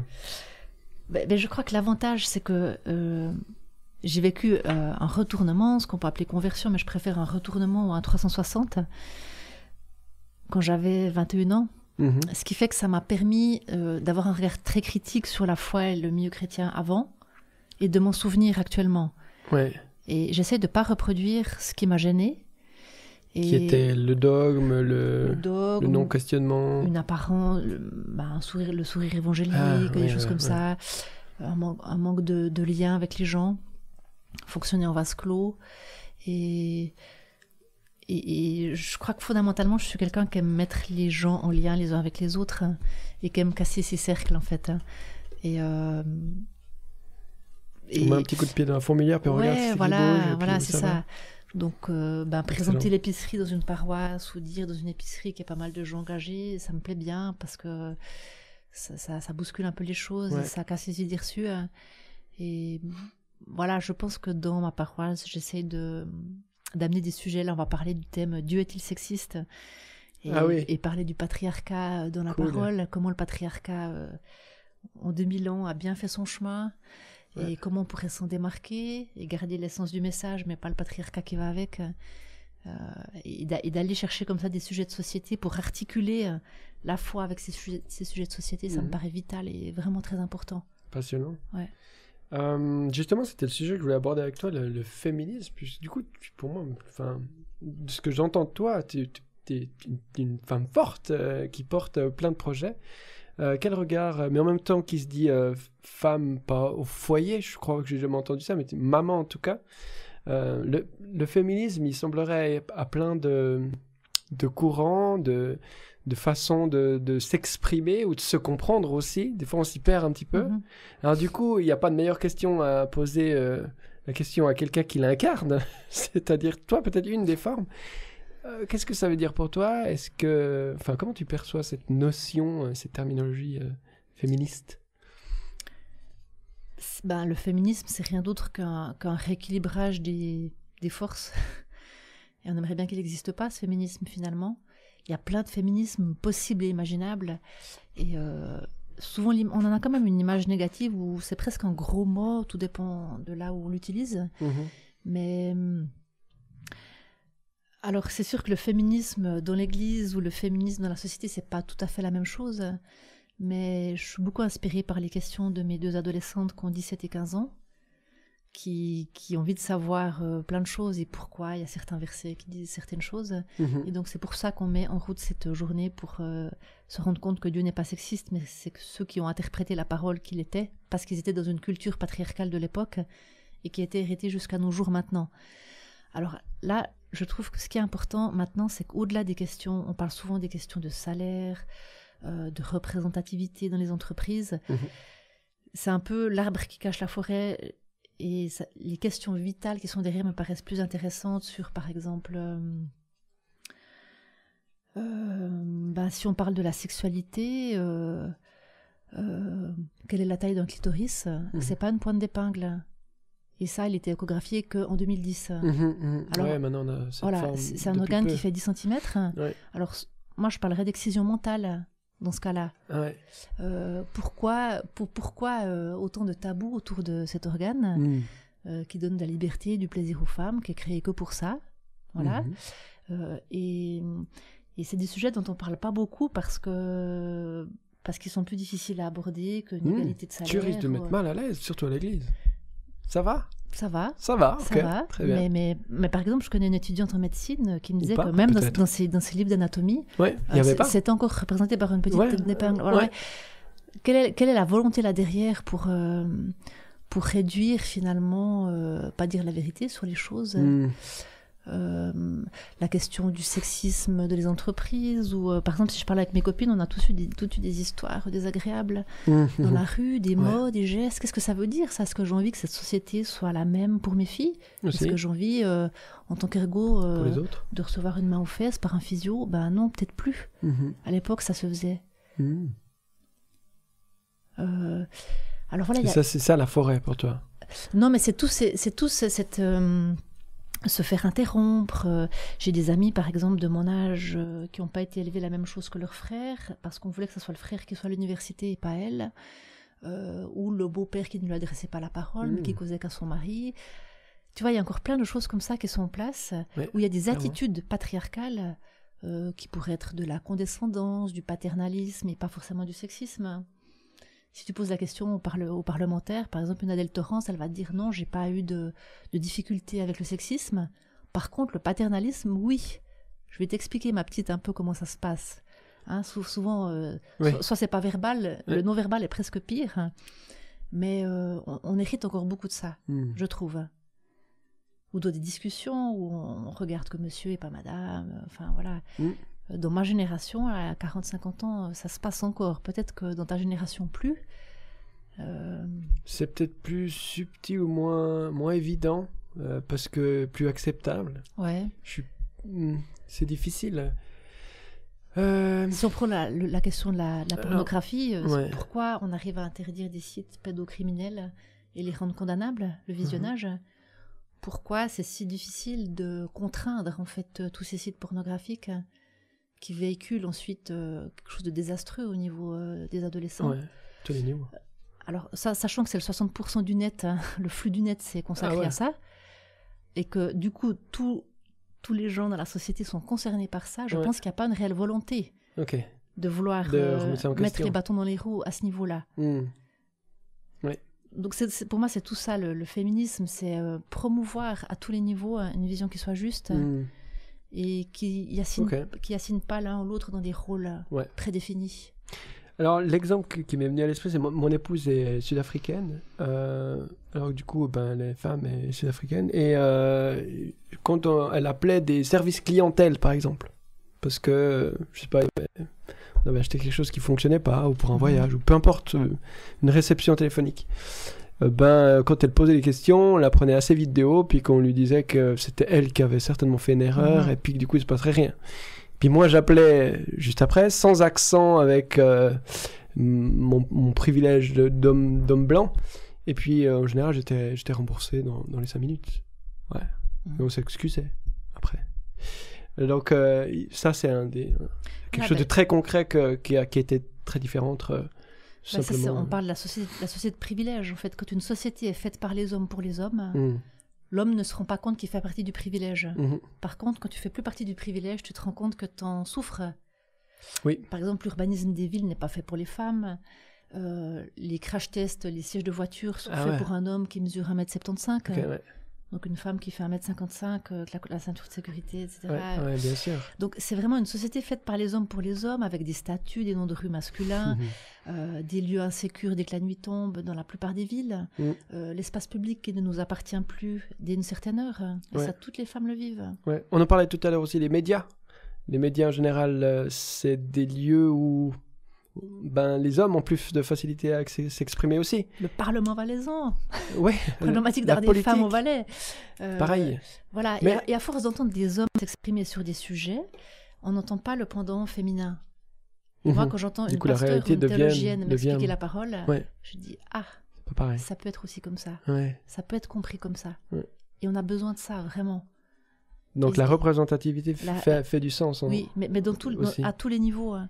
Par exemple, euh, la, la loi euh, sur le viol en Suisse, elle va être revue euh, parce que parce qu'en gros, ben, c'est- en gros, en gros, c'est un homme qui fait du mal à une femme, une pénétration, mais tout ce qui est du reste de ce qu'une femme pourrait subir comme violence n'est pas considéré comme du viol. Et en fait, on a cette loi, elle est revisée, revisitée maintenant par trois parlementaires hommes, alors que c'est un sujet qui concerne principalement les femmes. Et là aussi, voilà, il y a plein de choses où on dit mais non, il faut une représentativité parce que parce que ça nous concerne. Et on aimerait que beaucoup de choses figurent sous la définition du mot viol. Voilà. Mhm. Et, et voilà, ça touche tous les sujets, vraiment Oui. tous les sujets. Et, de- et du coup, tu, euh, tu appelles quoi euh, comme type de, de changement, j'imagine, fondamentaux Euh, Mais finalement, on fait quoi? Si, si on va un peu ça. On- là, tu as fait le, le constat de la problématique. Qu'est-ce qui est à faire sinon de, de faire une meilleure euh, représentativité, par exemple euh, Qu'est-ce que tu appelles de tes voeux? Ben déjà d'en parler, euh, Mhm. de, de dénoncer l'injustice quand elle se passe, de la verbaliser quand tu te fais interrompre, quand on t'explique ce qu'il faut faire alors que tu sais bien, voire même mieux, euh, ce qu'est la permaculture, mais qu'on te l'explique, euh, par exemple, parce que c'est un homme ou des choses comme ça. Ah ouais, ouais. Euh, ben, les blagues sexistes, euh, bah non. Non Et puis t'expliques pourquoi. Qu'est-ce que tu véhicules avec- une blague sexiste? Ouais. Tu réduis la femme à quelque chose et toi tu t'élèves. Hmm. Enfin, ça paraît marrant au début, mais euh, non, derrière, derrière, il y a quelque chose euh, où il y a un dominant, un dominé. Ouais, ouais. Toutes ces situations où il y a ce dominant et ce dominé, on, la, on les veut plus. hein. Et, et pour ça, l'épicerie, euh, on veut pas de dominant et de dominé euh, au niveau économique euh, et au Mhm, niveau de la gouvernance. Exact. Donc, c'est des modèles pour ça qui sont. euh, Donc il y a beaucoup à travers la gouvernance, hein, la ouais, structure beaucoup. dont beaucoup. tu fais les choses. C'est ça. Ben, au CHUV, par exemple, il y, y a eu un collectif de femmes médecins, infirmières, qui ont placardé les affiches sur les murs du CHU avec toutes les phrases sexistes qu'elles se sont entendues dire. Ça, c'était il y a 2-3 ans en arrière. Joli. Voilà, alors, alors montrer, visibiliser, Mettre dans le visible. Hein. visibiliser, Visibiliser. euh, ce qu'on s'entend dire, Mhm. pour que les gens prennent conscience. et, et- et casser les structures en fait. euh, plus il y a une structure pyramidale et plus le pouvoir est fort, plus ça engendre euh, des Mhm. relations de pouvoir euh, et Mhm. inégales envers les hommes et les femmes. Prenez un prenez un Maznev, euh, un écrivain reconnu de tout le monde, euh, soutenu par l'Académie française. euh, voilà, il est couvert en fait. Mhm. Et, et- et en fait, quand on arrive à casser ces structures de pouvoir qui mettent des gens très puissants en, en haut, Mhm. d'un système et qui ont beaucoup de décisions à prendre, Ouais. on, ouvre la, on ouvre porte à plein de choses en fait. Mhm. Une Adèle Haenel qui s'exprime sur euh, comment un, un- un réalisateur de cinéma a une emprise sur elle quand elle avait 15 ans. Voilà, les paroles se délient. On voit que dans tous les domaines, dans l'archéologie, c'est sorti, au niveau de la musique classique, au niveau du sport. Il n'y a pas un domaine qui est épargné par ça. Non, Pas un seul. ça ressort partout. Euh, c'est triste, c'est douloureux, euh, mais je pense que c'est une bonne chose que ça ressorte. Euh, mettre dans le visible un maximum, mais du coup, j'ai l'impression que ces mots, ils ont tendance à vouloir s'invisibiliser encore plus qu'avant, parce que moralement, on le savait, on le voit très bien avec certaines églises qui font des choses, bon là pour le coup pour les enfants, mais c'est caché, c'est de plus en plus difficile à trouver parce que voilà, c'est dans les petits recoins, là on le dit pas, personne n'a vu. C'est pour, ça qu'il faut aller bien au-delà des questions de, de, de salaire, de Hmm.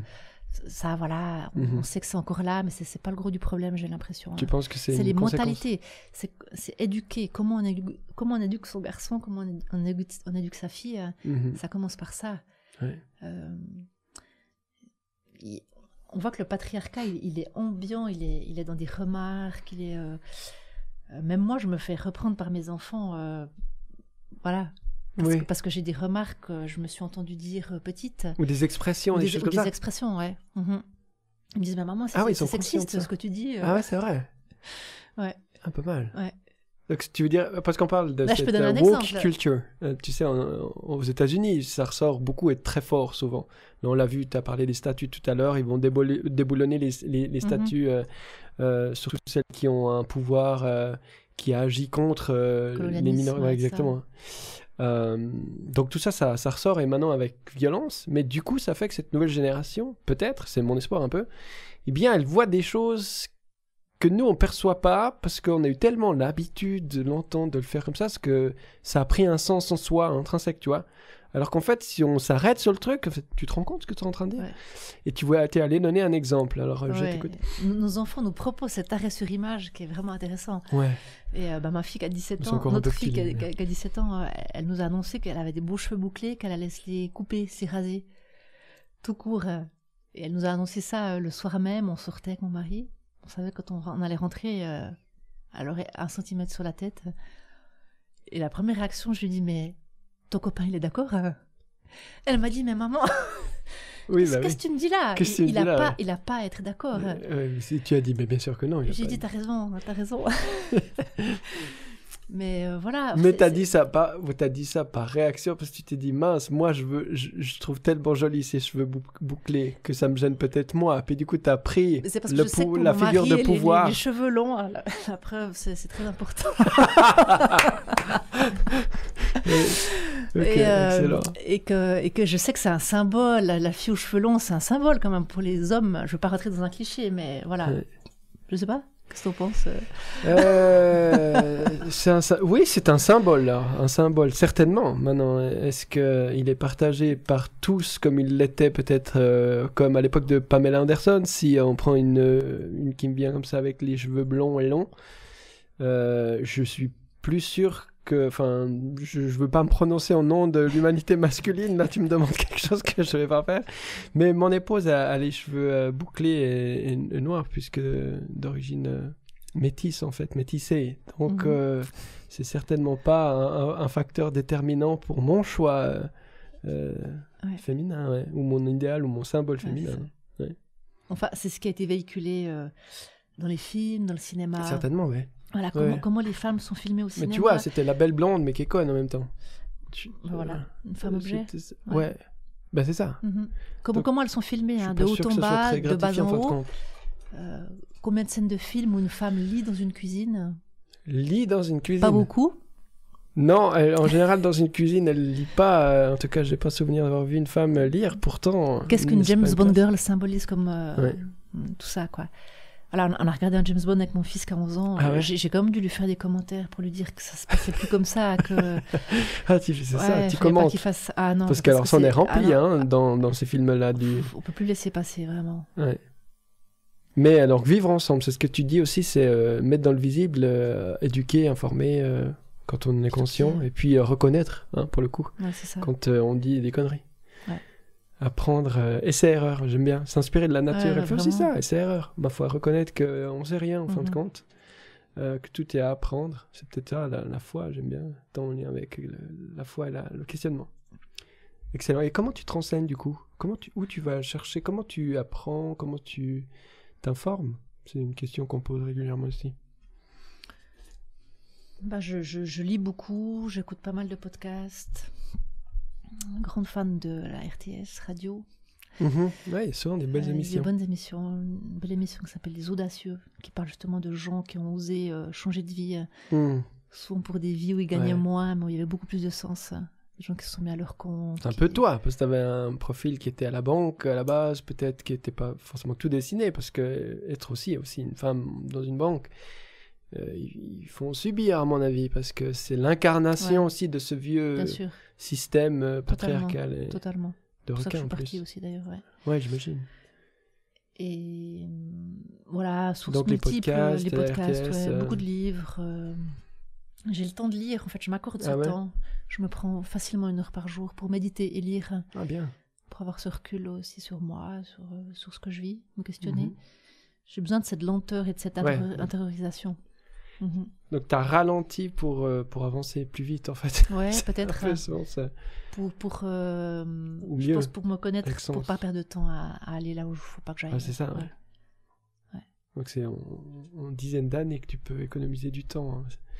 En comparaison de ceux qui font pas, euh, qui prennent pas ce temps et puis qui finalement, et c'était le cas pour moi aussi tout un temps, où on est dans un une espèce de rail comme ça, faut avancer parce que peut-être Mhm. les autres attendent de nous certaines choses, parce que notre ego est flatté aussi parce que ça a l'air bien marcher comme ça, mais qu'en fin de compte, euh, il y a une perte de sens, il y a une perte d'humanité. ouais. Je me souviens quand je suis partie au Laos, j'avais vu un titre de l'hebdo qui disait que si on ne retravaillait plus pendant deux ans, on avait très peu de chances de se faire Oui. engager dans sa, dans Ouais. sa branche.